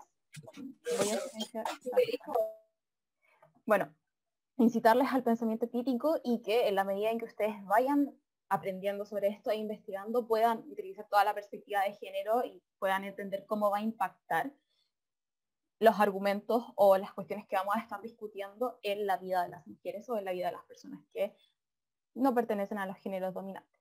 Catalina. También muy agradecida de la invitación, muy agradecida de compartir este tiempo con ustedes, así que aprovechen de hacer todas sus preguntas. Como les comentaba Gabriela, el objetivo de este espacio que vamos a tener ahora guarda relación con dos ejes prácticamente, que tiene que ver con la preparación de sus discursos, la preparación de sus líneas argumentativas y por otra parte ya del discurso mismo. Así que para empezar, les voy a compartir un video eh, relacionado con el discurso. Esta, e, esta sesión que vamos a tener eh, primordialmente guarda relación con, la forma en, la que nos expresamos, cómo usamos las palabras y el lenguaje. Ella es Paula Salerno y esta TED Talk habla sobre la importancia del lenguaje y de una especie de discurso secreto u oculto en la forma en la que nos expresamos. Para estar divinos. Con estas preguntas en la cabeza, el día siguiente me puse a analizar las noticias que publicaron los diarios acerca de la manifestación. Todas estaban abiertamente a favor del paro de mujeres y de ni una menos. Una contaba a qué hora había empezado la manifestación, en qué calles había transcurrido, cuántas personas habían ido, qué agrupaciones estaban. Contaban también cuánto salían los pins y las remeras que se vendían, que había puestos de choripanes, que la gente entraba en los baños de los bares. ¿Qué dice todo esto de la violencia de género? Nada. Dice que esta marcha es igual a cualquier otra marcha. Sin embargo, en la primera parte, la noticia asume y reconoce el rol activo de las mujeres que luchan. Esto se veía en los verbos. Decía, las mujeres protestaron, se manifestaron, salieron a las calles, suspendieron las tareas. Además, repetía la causa de la lucha, contra la violencia de género, contra la desigualdad, y marcaba el rechazo con la palabra. Si esta noticia estaba repudiando la violencia de género, ¿por qué usa más de la mitad de su espacio en contar detalles secundarios? Probablemente para generar empatía con el grupo más amplio de lectores del diario y para entretenerlos. El problema es que darle tanto lugar a los detalles, la ideología y el repudio quedaban en un segundo plano. Igual que las mamás del jardín, no creo que la persona que escribió esta noticia sea machista, pero sí que vive en una sociedad machista y que repite sus discursos sin cuestionarlo. Los diarios, queriendo sumarse a la causa de las mujeres, lo único que hicieron fue darle a esta causa un lugar secundario. Y algunas incluso repetían esa postura que estaban pensando que estaban denunciando. Lo mismo hace tu vecina, cuando te pregunta si tu novio, varón, heterosexual, te ayuda con la casa. No te está preguntando si vos y tu novio limpian la casa. ¿Por qué dice tu novio y no dice ustedes? ¿Por qué dice ayudar y no dice limpiar? ¿Por qué dice te ayuda y no te pregunta si vos lo ayudas a él? Porque presupone que la que tiene que limpiar es la mujer y que el hombre puede decidir si colabora o no colabora. Esa pregunta, aunque esté hecha con la mejor de las intenciones, es machista. Mi novio no me ayuda con la casa. La casa es de los dos. Todos, todos los discursos tienen un secreto. Y ese secreto no está en la información que transmiten, está en cómo dicen lo que dicen. Supongamos que el lenguaje es un baúl, que está lleno de palabras, de signos de puntuación, de reglas de ortografía. Cada vez que hablamos o que escribimos, abrimos el baúl elegimos qué palabra usar, qué puntos poner, qué frases armar. ¿Con qué criterio elegimos? Para analizar el discurso hay que hacer un ejercicio de imaginación. Hay que ver qué es lo que el discurso dice y qué es lo que no dice. Hay que pensar, esto mismo, ¿de qué otra forma podría decirse? ¿Y cuál sería la diferencia? Imaginemos un mundo en el que todos tengamos el poder de entender y de construir discursos para cambiar la realidad. Discursos que mejoren la educación, como los apuntes de los estudiantes, Discursos que eviten las injusticias, para que todos tengamos una voz. Discursos que eliminen las desigualdades, para que hombres y mujeres tengamos los mismos derechos. Cuando queramos volver a decir nuestras palabras, pensemos bien cuáles vamos a elegir, para ayudar a construir la realidad que queremos y para estar cada vez más cerca de decir lo que realmente queremos decir. Hagamos como los alumnos, que se alimentan de conocimientos, no se quedan con opiniones, y estemos siempre con los ojos bien abiertos y la mente alerta. Muchas gracias.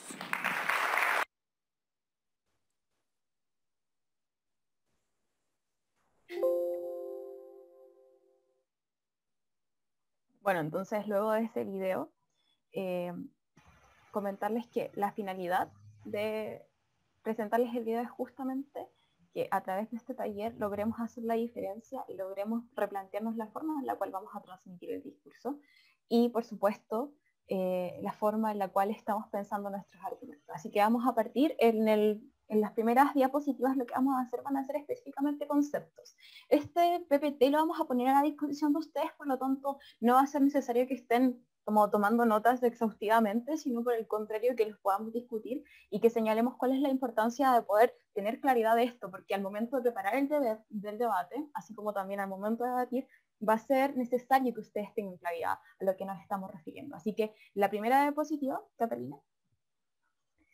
Tenemos tres conceptos que son importantes para lograr eh, dialogar respecto de el género y el derecho. En el contexto del debate, en primer lugar, señalar que es un lenguaje sexista y esto corresponde justamente a las representaciones sesgadas, que en el fondo tienen un efecto que es discriminatorio en las personas a las cuales se está sesgando, que en este caso, por regla general, son mujeres. Cuando hablamos también del lenguaje androcéntrico, en la presentación de las chicas de Abofran también eh, se mencionó el lenguaje androcéntrico en la ley y esto es algo que reiteradamente ocurre en la normativa, que reiteradamente ocurre no solamente en la ley, sino que también como veíamos en, eh, en el video que acabamos de, de presentar, en los medios de comunicación también y en general en la forma en la cual nos comunicamos, que el genérico corresponda al concepto de hombre y el concepto de mujer sea la excepción, es androcéntrico y es pensar todo desde la perspectiva de cómo esto impacta, pero a un estereotipo en particular, que es hombre blanco, probablemente de clase alta, que cumple ciertos patrones que son socialmente deseables. Respecto de sexo, también nos parece atingente poder conversar respecto a esto. El sexo en general se dice que atiende a las características biológicas que distinguen entre machos y hembras. Y respecto a esto también nos gustaría hacer un alcance, porque en general se dice que el sexo está definido por los cromosomas que poseen las personas en su genoma, que vendrían siendo XX para mujer y XY para hombres. No obstante, el alcance que queremos hacerles es que hay estudios que dicen que en verdad no existe solo un sexo, que en general el lenguaje cromosómico ha mostrado que existen diversas combinaciones de manera que no vendría siendo binario.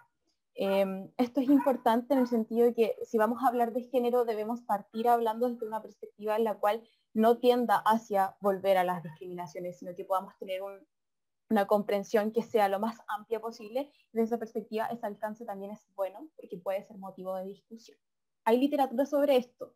Eh, nosotras en particular lo hemos observado a raíz de otros temas de discusión, no obstante, si es que eh, fuese necesario, podemos entregarle la bibliografía para que puedan observarlo por ustedes.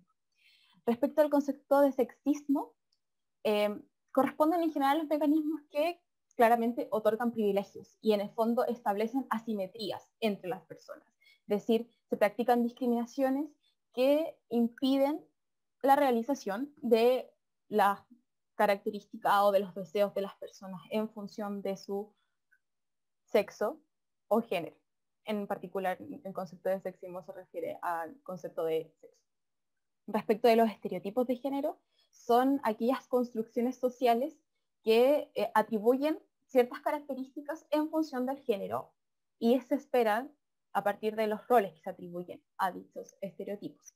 Concepto de estereotipo en general eh, permite la creación de muchos sesgos eh, sociales y por lo tanto eh, la complejidad respecto de eso es que em, muchas veces los estereotipos privan de la realización de personas que no corresponden a dichos atributos ni a dichos patrones sociales y por ello es importante entender que los estereotipos no necesariamente son buenos, que en general pueden importar Em, complejidades para las personas. Respecto al concepto de género, nosotras entendemos que el género vendría siendo un conjunto de características sociales y culturales en torno a lo femenino y masculino.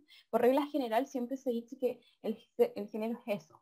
No obstante, a nosotros nos gustaría hacer el alcance a fin de salir de estas lógicas binarias y entender que el género no es necesariamente eh, algo femenino masculino, sino que también hay otros tipos de expresiones de género que corresponden en general a las personas que son parte de la comunidad queer.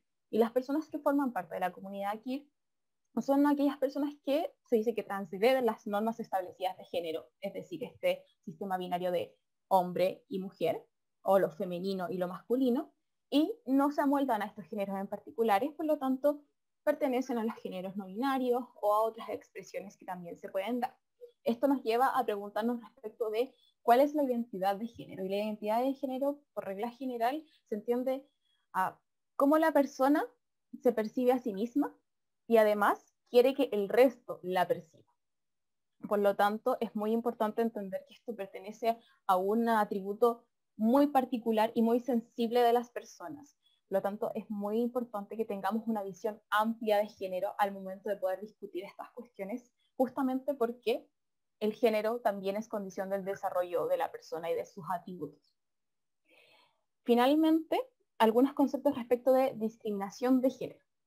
Entendemos entonces que las discriminaciones de género van a ser aquellos tratos eh, que son desfavorables a ciertos grupos y que están dados justamente por esta asimetría de eh, poder que se va dando dentro de la sociedad. En este sentido, la discriminación de género también es condición de los sesgos de género. Cuando les comentaba anteriormente que los estereotipos de género producen ciertos sesgos, esas manifestaciones de, de sesgos de género producen discriminación justamente porque no observan a las personas de manera integral y por lo tanto en general se tiende a discriminar y eso produce perjuicios. Respecto de la equidad de género, nosotros entendemos que la equidad de género es el término que se utiliza para eh, hablar respecto de la distribución justa en torno a los recursos y en torno al poder social y en torno a cómo se trata a las personas en función de cuál es su identidad, en función de cuál es su género, en función de cuál es su sexo. Catalina, la siguiente diapositiva. Y finalmente los conceptos de igualdad de género y perspectiva o enfoque de género. Cuando hablamos de igualdad de género, estamos hablando de una situación en que todos los seres humanos son libres de desarrollar sus capacidades personales y de tomar decisiones sin las limitaciones impuestas por los estrictos roles tradicionales. Entonces es observar a las personas ya en función de eh, su libertad, con, sin distinción de, aquellos atributos particulares de su identidad o de su sexo. Y respecto de la perspectiva o enfoque de género, que es nuestro objetivo central a lo largo de este taller, es analizar cómo un tema en particular puede afectar la vida de las mujeres o el impacto de las personas que en general no pertenecen a esos espacios de poder. Les pongo un ejemplo para que logremos entender cuál es la finalidad de esto. Si nosotros estuviésemos, por ejemplo, hablando acerca de políticas públicas de iluminación de la vía pública, en general pareciera que esto no es un tema muy controversial porque significa solamente poner postes de alumbrado en la vía pública y eso es una cuestión que pareciera obvia. No obstante, si nosotros aplicamos perspectiva de género a esto, nos vamos a dar cuenta que por regla general las mujeres no se sienten seguras en la calle. Esto porque es un espacio que en general es objeto de violencias. Cuando las mujeres caminan por la calle o cuando las personas disidentes de género también caminan por la calle, muchas veces son objeto de discriminación, no solamente porque se les acosa sexualmente, sino también porque se les agrede. Y esta agresión puede ser física o puede ser verbal. Por lo tanto, la forma en la cual se alumbra la ciudad, la forma en la cual se piensan los espacios dentro de la ciudad, son trascendentales para la seguridad de las mujeres y eso sí tiene un impacto en la vida de las mujeres. Y eso implica tener una perspectiva o un enfoque de género. Implica pensar cómo esto va a impactar a aquellos grupos más desfavorecidos.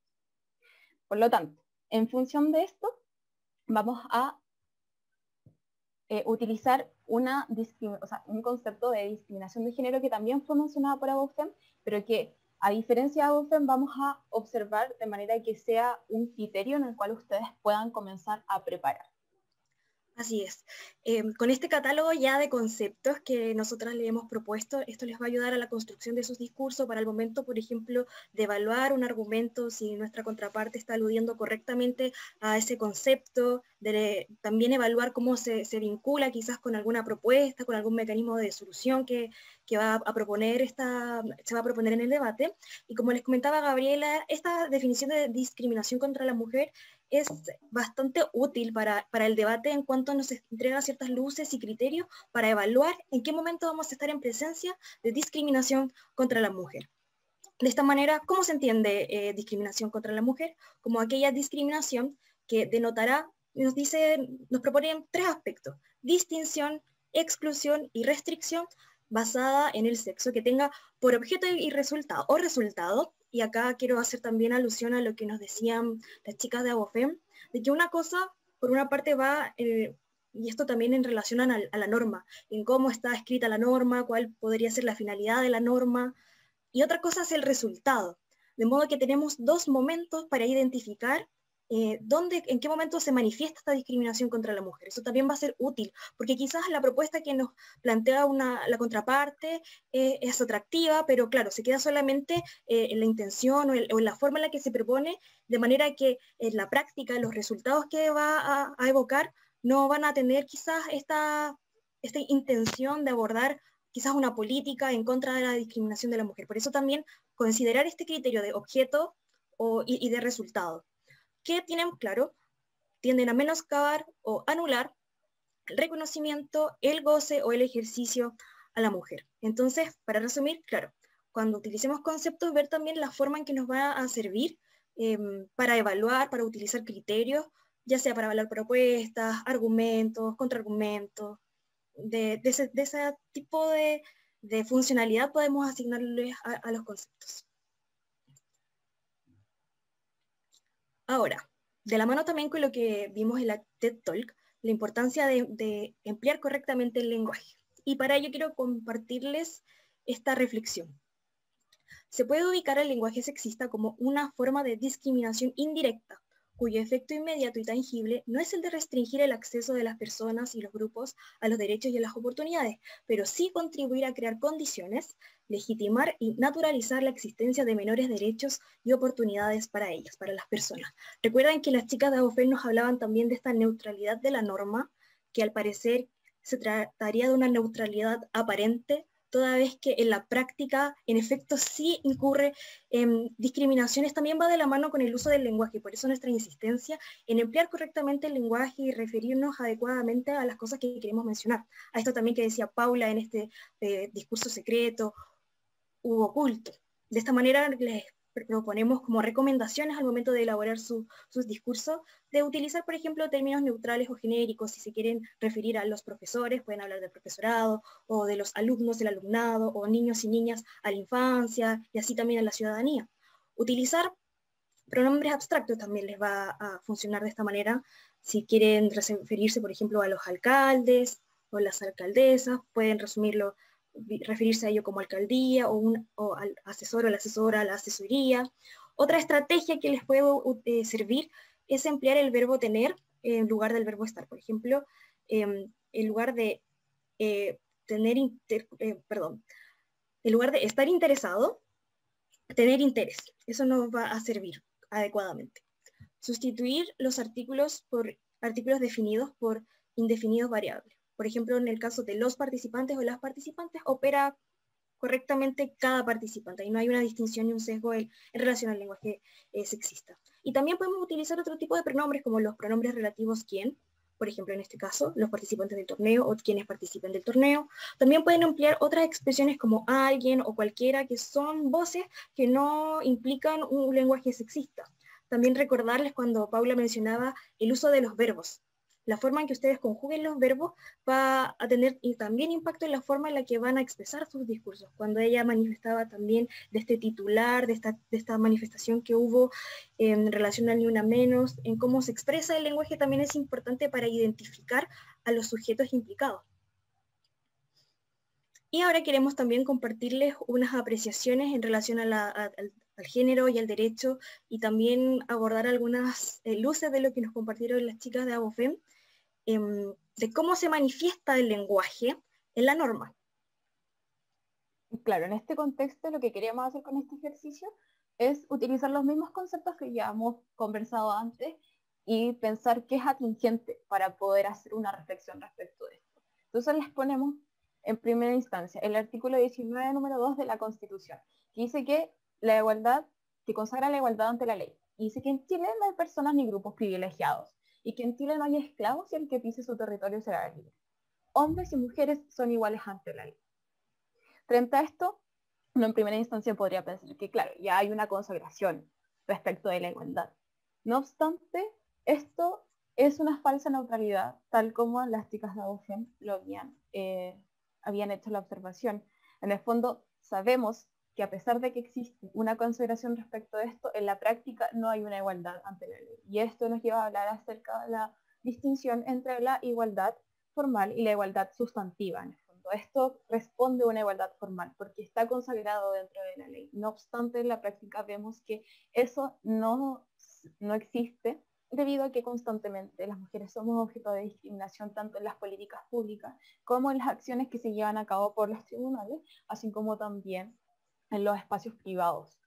Por lo tanto, es atingente respecto de esta norma pensar cómo esto ha impactado, pensar cómo, no obstante hay una consagración de igualdad ante la ley, esto de qué forma ha impactado, cuáles son los problemas que se presentan en la consagración de esta ley y en la ejecución de esta normativa en la Constitución. Podríamos pensar que quizás hay un problema no, no en la norma, sino que en la práctica, o cómo esto podría mejorar de manera que eh, pudiese efectivamente existir una consagración.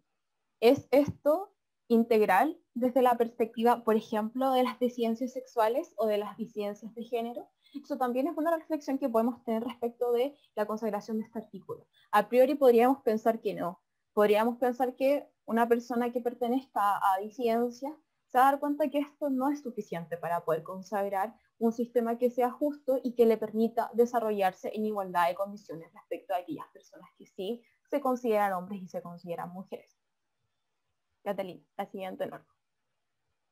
Código bueno, Sí, otro ejemplo eh, también de la mano de lo que nos contaban las chicas de, de Abofen y también recuperando este discurso que es el tráiler de, de la película de Ruth, claro, que podemos ver en la realidad que cada norma de alguna u otra manera contiene disposiciones que, aluden a la desigualdad de género y así como en la Constitución se trata de solucionar, incluyendo hombre y mujer, que eso también fue una modificación bastante reciente, todavía podemos ver que existen quizás resabios, quizás disposiciones que perpetúan también esta desigualdad eh, respecto de la mujer. Un ejemplo, en el artículo 310 del Código Civil en relación a la posesión notoria del, Estado civil, del Estado em, de matrimonio, aquí dice que consiste principalmente en haberse tratado los supuestos cónyuges como marido y mujer en sus relaciones domésticas y sociales.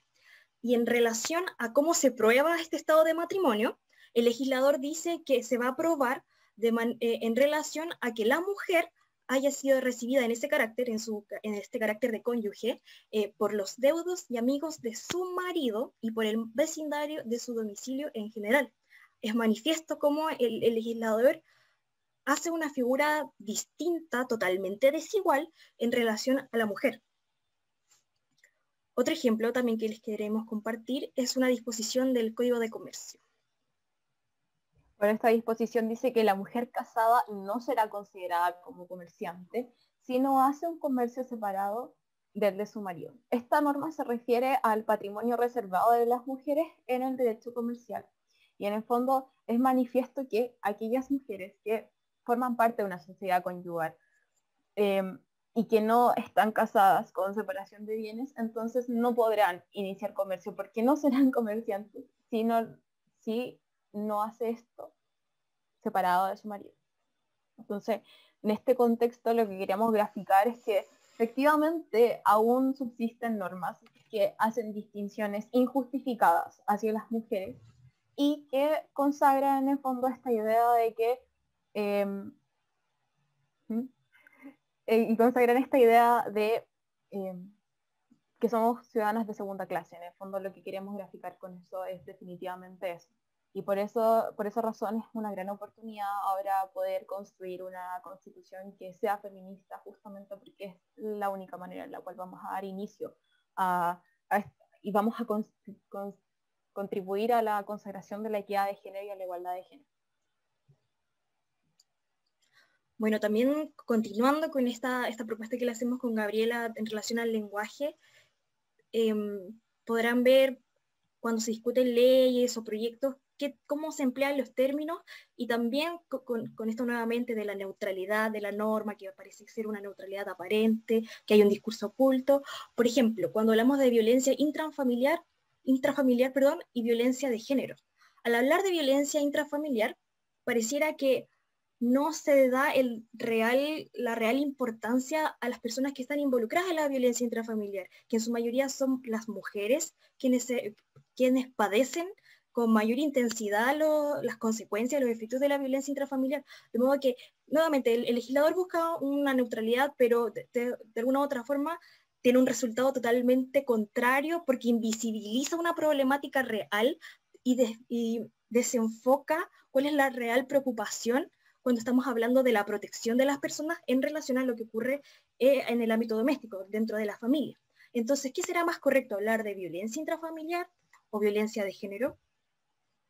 Claro, en este contexto, en este contexto es bien interesante eh, poder siempre eh, hacer patente cuando existe violencia de género. Y creemos que eso es, es, importante en la construcción de sus argumentos y también en la reflexión que vayan a tener a lo largo de los debates.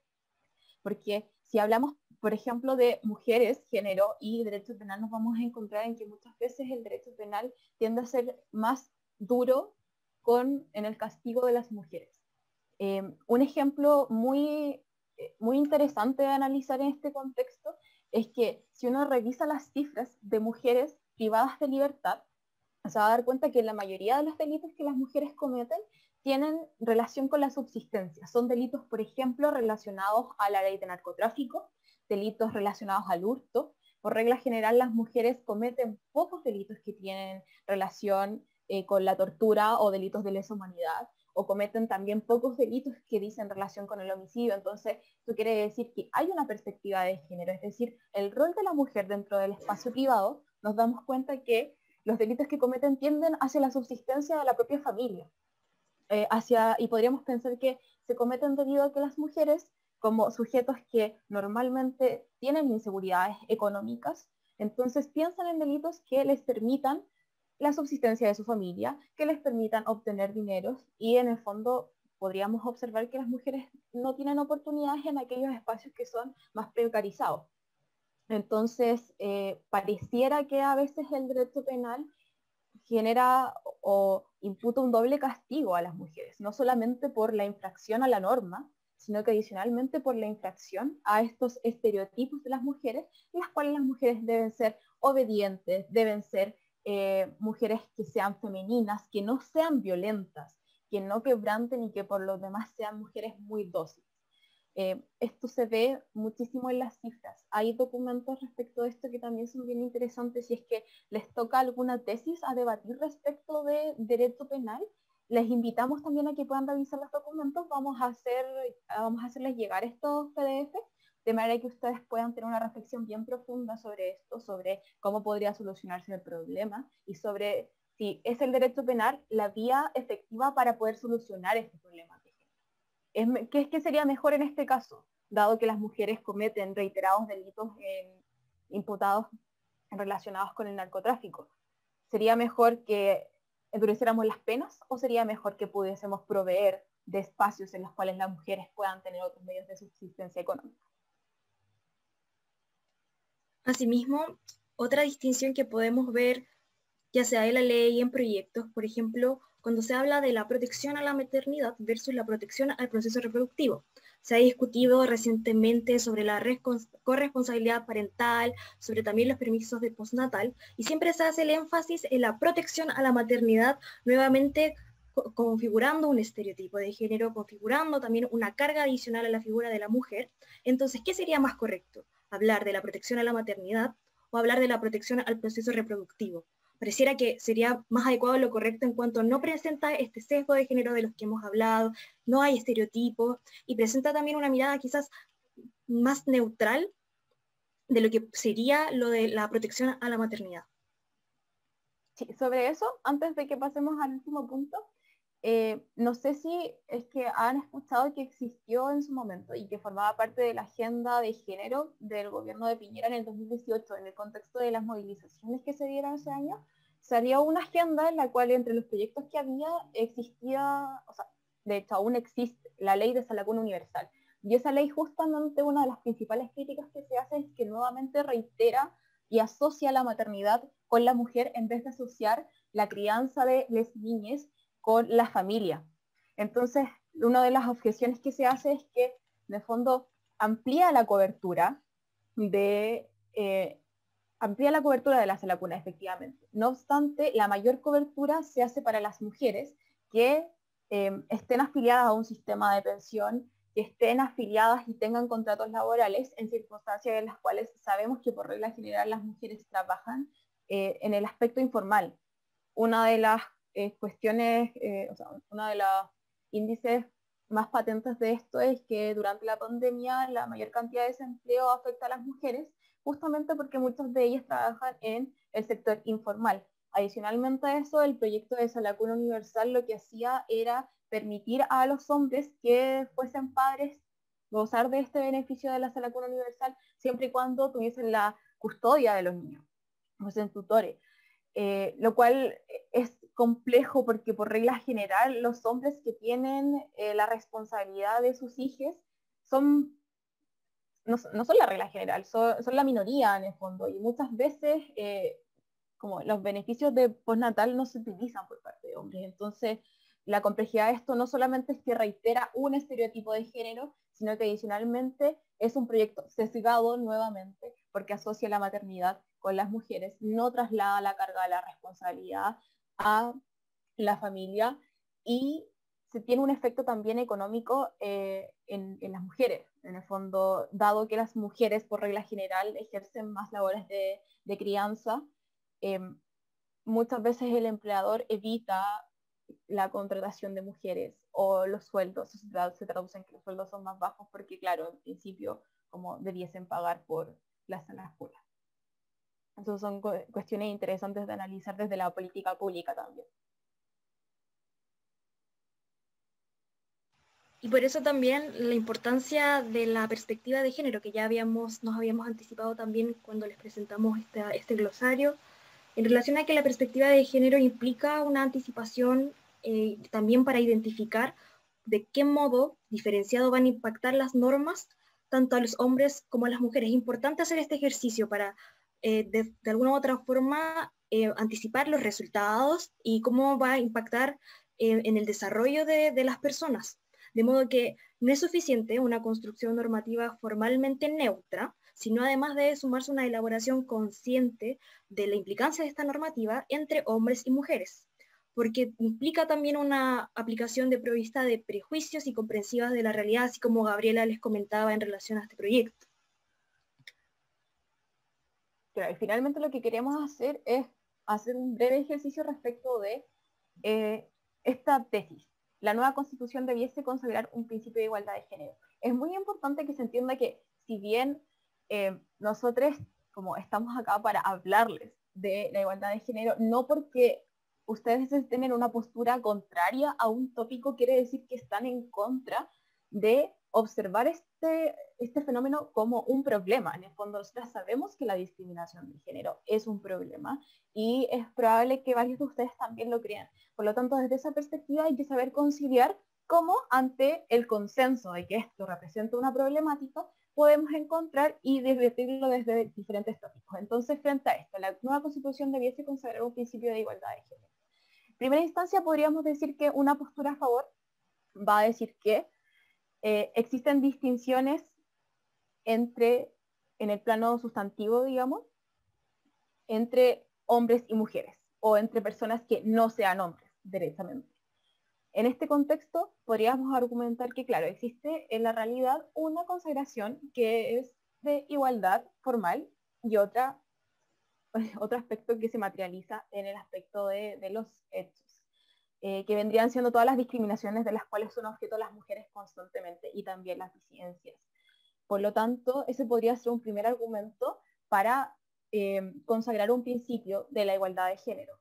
Otro argumento que podríamos utilizar para esto es decir que la nueva constitución es una instancia muy importante para lograr eh, materializar o al menos como entregar la instancia a las mujeres de participar de esto.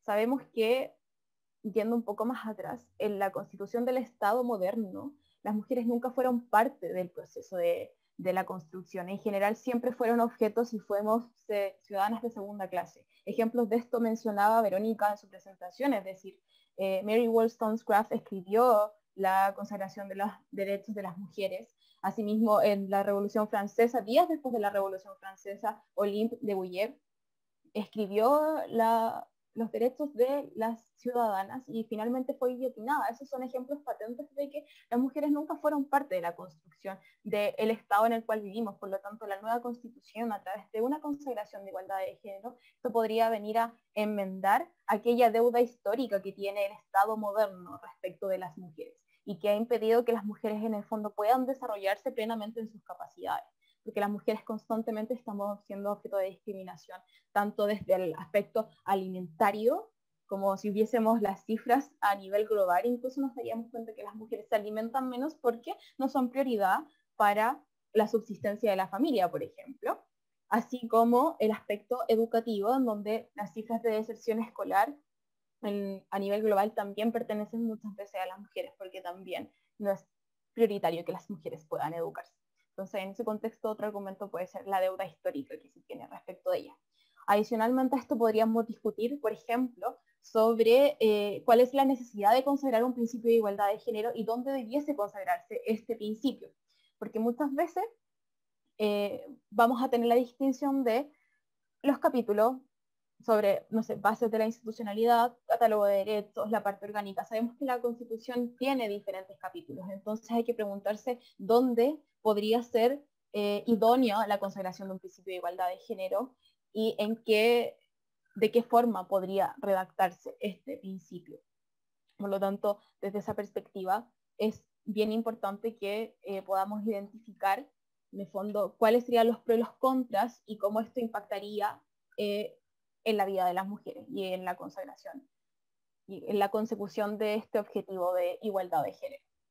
Desde el aspecto contrario, podríamos decir, por ejemplo, que, claro, es necesario que podamos conseguir este objetivo de igualdad de género, porque sabemos que hay un problema, sabemos que en la práctica, en el fondo, la consagración de la igualdad formal de género, perdón, de la igualdad ante la ley, no se materializa en la práctica porque constantemente hay objetos de discriminación. Entonces podríamos pensar, por ejemplo, que no es necesario consagrar una igualdad de género, sino que es importante consagrar una prohibición de igualdad de género. Y en este aspecto podrían revisar, no sé, constituciones en el derecho comparado. Hay una página que se llama The Constitute Project, donde pueden comparar como muchas constituciones al mismo tiempo y pueden ver cómo se ha regulado en el derecho comparado eh, algunos fenómenos. Les voy a dejar el link acá. Y les spoileo un poco, eh, en el derecho comparado lo que se ha hecho para poder consagrar, digamos de alguna forma, la igualdad de género es a través de una prohibición. En el fondo no es una igualdad de género, sino que es un control ex post que se hace una vez ya ha sido cometido en el fondo esta discriminación. Entonces, en general se dice las personas son iguales ante la ley y existe prohibición de discriminación respecto de género, de raza, de eh, etnia, no, de etnia porque no existen las razas, discriminación de etnia, discriminación de orientación sexual, etc. Y respecto a eso, sería bueno discutir si es necesario un principio consagrado en las bases de la institucionalidad o, por ejemplo, consagrarlo en un catálogo de derechos. Asimismo, podríamos pensar también que, dado que existe una consagración de igualdad ante la ley, no es necesario consagrar una igualdad de género en específico porque Chile ya ha incorporado instrumentos internacionales de eh, de género, de consecución de la equidad de género, a través de la ratificación de la CEDAW, por ejemplo, así también a través de las mm, convenciones de Belén du Pará y los distintos organismos internacionales y las recomendaciones que han hecho. Entonces, la solución al problema quizás no pasa por la consagración de una igualdad de género, sino que pasa por la incorporación efectiva de los instrumentos internacionales ratificados por Chile para la consecución de este objetivo. Finalmente, también podríamos decir que eh, no es necesaria la consagración de un principio de igualdad de género porque lo relevante sería que en la ejecución de esta igualdad fuesen las personas y los agentes del Estado quienes efectivamente pudiesen hacer patente la consagración de esta igualdad de género a través de em, la incorporación de perspectiva de género en las academias judiciales, por ejemplo, a través de hacer más efectivos los controles que se pueda tener respecto de la incorporación de la perspectiva de género, etc. Esas son posturas que probablemente les permitan conciliar ambas, eh, ambas perspectivas y sin descuidar en el fondo la crítica que se hace a la discriminación de género y tendiendo siempre hacia la equidad. Catalina, ¿algún comentario? Em, no, nada que agregar, en verdad queríamos hacer énfasis en que existe un problema y que nadie puede eh, negar de que es un problema real, que nos afecta en el día a día y por eso también nuestra invitación es que las líneas argumentativas que ustedes presenten, los análisis que hagan, sean lo más estratégicos posibles en relación a aquello que no, no solemos ver. Porque acá no es que se discuta si existe o no el problema, va, a estar relacionado, por ejemplo, en cómo se va a implementar un proyecto de ley, en cuál van a, van a ser sus alcances, en, si va a generar más desigualdad o no, si en verdad va a solucionar los temas en relación a la, a la discriminación. Claro, así que les invitamos en el fondo a que cada vez que vayan a analizar un tópico, en verdad nosotros no sabemos cuáles son los tópicos que van a analizar, pero eh, bueno, aunque no supiéramos tampoco podríamos decir. De todas formas, eh, utilizar siempre y tener a la vista estos conceptos, que era lo que partimos la presentación. En el fondo lo que, eh, lo que nosotros buscamos es que a través de este ejercicio ustedes puedan identificar cuáles son las cuestiones que se van a debatir e identificar eh, cómo podemos conciliar ambas posturas y que no tengan la noción de que por estar en la postura en contra o por estar en la postura a favor, eh, tienen una perspectiva muy parcializada. Siempre se puede observar las cuestiones de género desde muchas perspectivas sin tener que decir directamente que la discriminación de género no existe. Así que no sé si tienen alguna pregunta que quieran hacernos respecto de esto. En cualquier caso, nosotros vamos a dejar disponibles los materiales y por supuesto vamos a enviarles algunas de las, eh, de las literaturas que hemos visto que quizás les sirvan de fuente también para que ustedes tengan un análisis más acabado y puedan interesarse quizás más en el desarrollo de esta eh, de estos estudios. Muchas gracias a ambas. Eh, abro el espacio, si es que hay alguna pregunta, pueden levantar la manito, pero en realidad estuvo todo súper claro. Yo, hasta yo aprendí muchísimo, así que les agradezco mucho en nombre de toda la organización y yo creo que igual de todos quienes estamos aquí, fue una valiosísima instancia, así que muchas, muchas gracias. No, muchas gracias a ustedes, en verdad. Nosotras nos hubiese gustado hacer un taller más extenso, pero sabemos que ABOFEM también estuvo muy potente su presentación y tampoco queríamos extendernos demasiado porque sabemos que eh, es agotador estar tanto en taller. Por lo tanto, quisimos hacer una cuestión más técnica. Sí, muchas gracias por la invitación, por el espacio y felicitar también a, a todos quienes están participando de esta instancia, poniendo en diálogo, en debate aspectos que anteriormente no eran tan, tan importantes y es muy, muy positivo, muy positivo. Sí, así que la invitación más allá del debate es también a que ustedes puedan aplicar estas perspectivas siempre en el cotidiano. Uno cuando observa con perspectiva de género los fenómenos diarios se da cuenta que en verdad la discriminación es muy real y que hay harto trabajo por hacer. Así que muchas gracias a todos em, y bueno, cualquier cosa pueden comentar. Haremos llegar los materiales que nos envíen a todas las personas, así que no se preocupen por eso. Y les recuerdo a todos también que el video será subido a YouTube, probablemente hoy día o mañana, para que puedan volver a revisarlo, repasar o compartirlo, porque la instancia desde la mañana hasta ahora ha sido de verdad, yo creo, de mucho aprendizaje. Así que mm, ahí les vamos a estar avisando por correo. A todos. Muchas gracias. Perfecto. Muchas gracias a ustedes por si la no hay invitación. Dudas, voy a... si no hay dudas, voy a terminar la sesión. Se pueden ir retirando, pero igual los invito a hacer preguntas por última vez. Bueno, creo que no hay preguntas. ya. Entonces, muchas gracias. Que les vaya bien en sus debates. Utilicen todo lo aprendido. Adiós a Chao, todos. muchas gracias. Chao.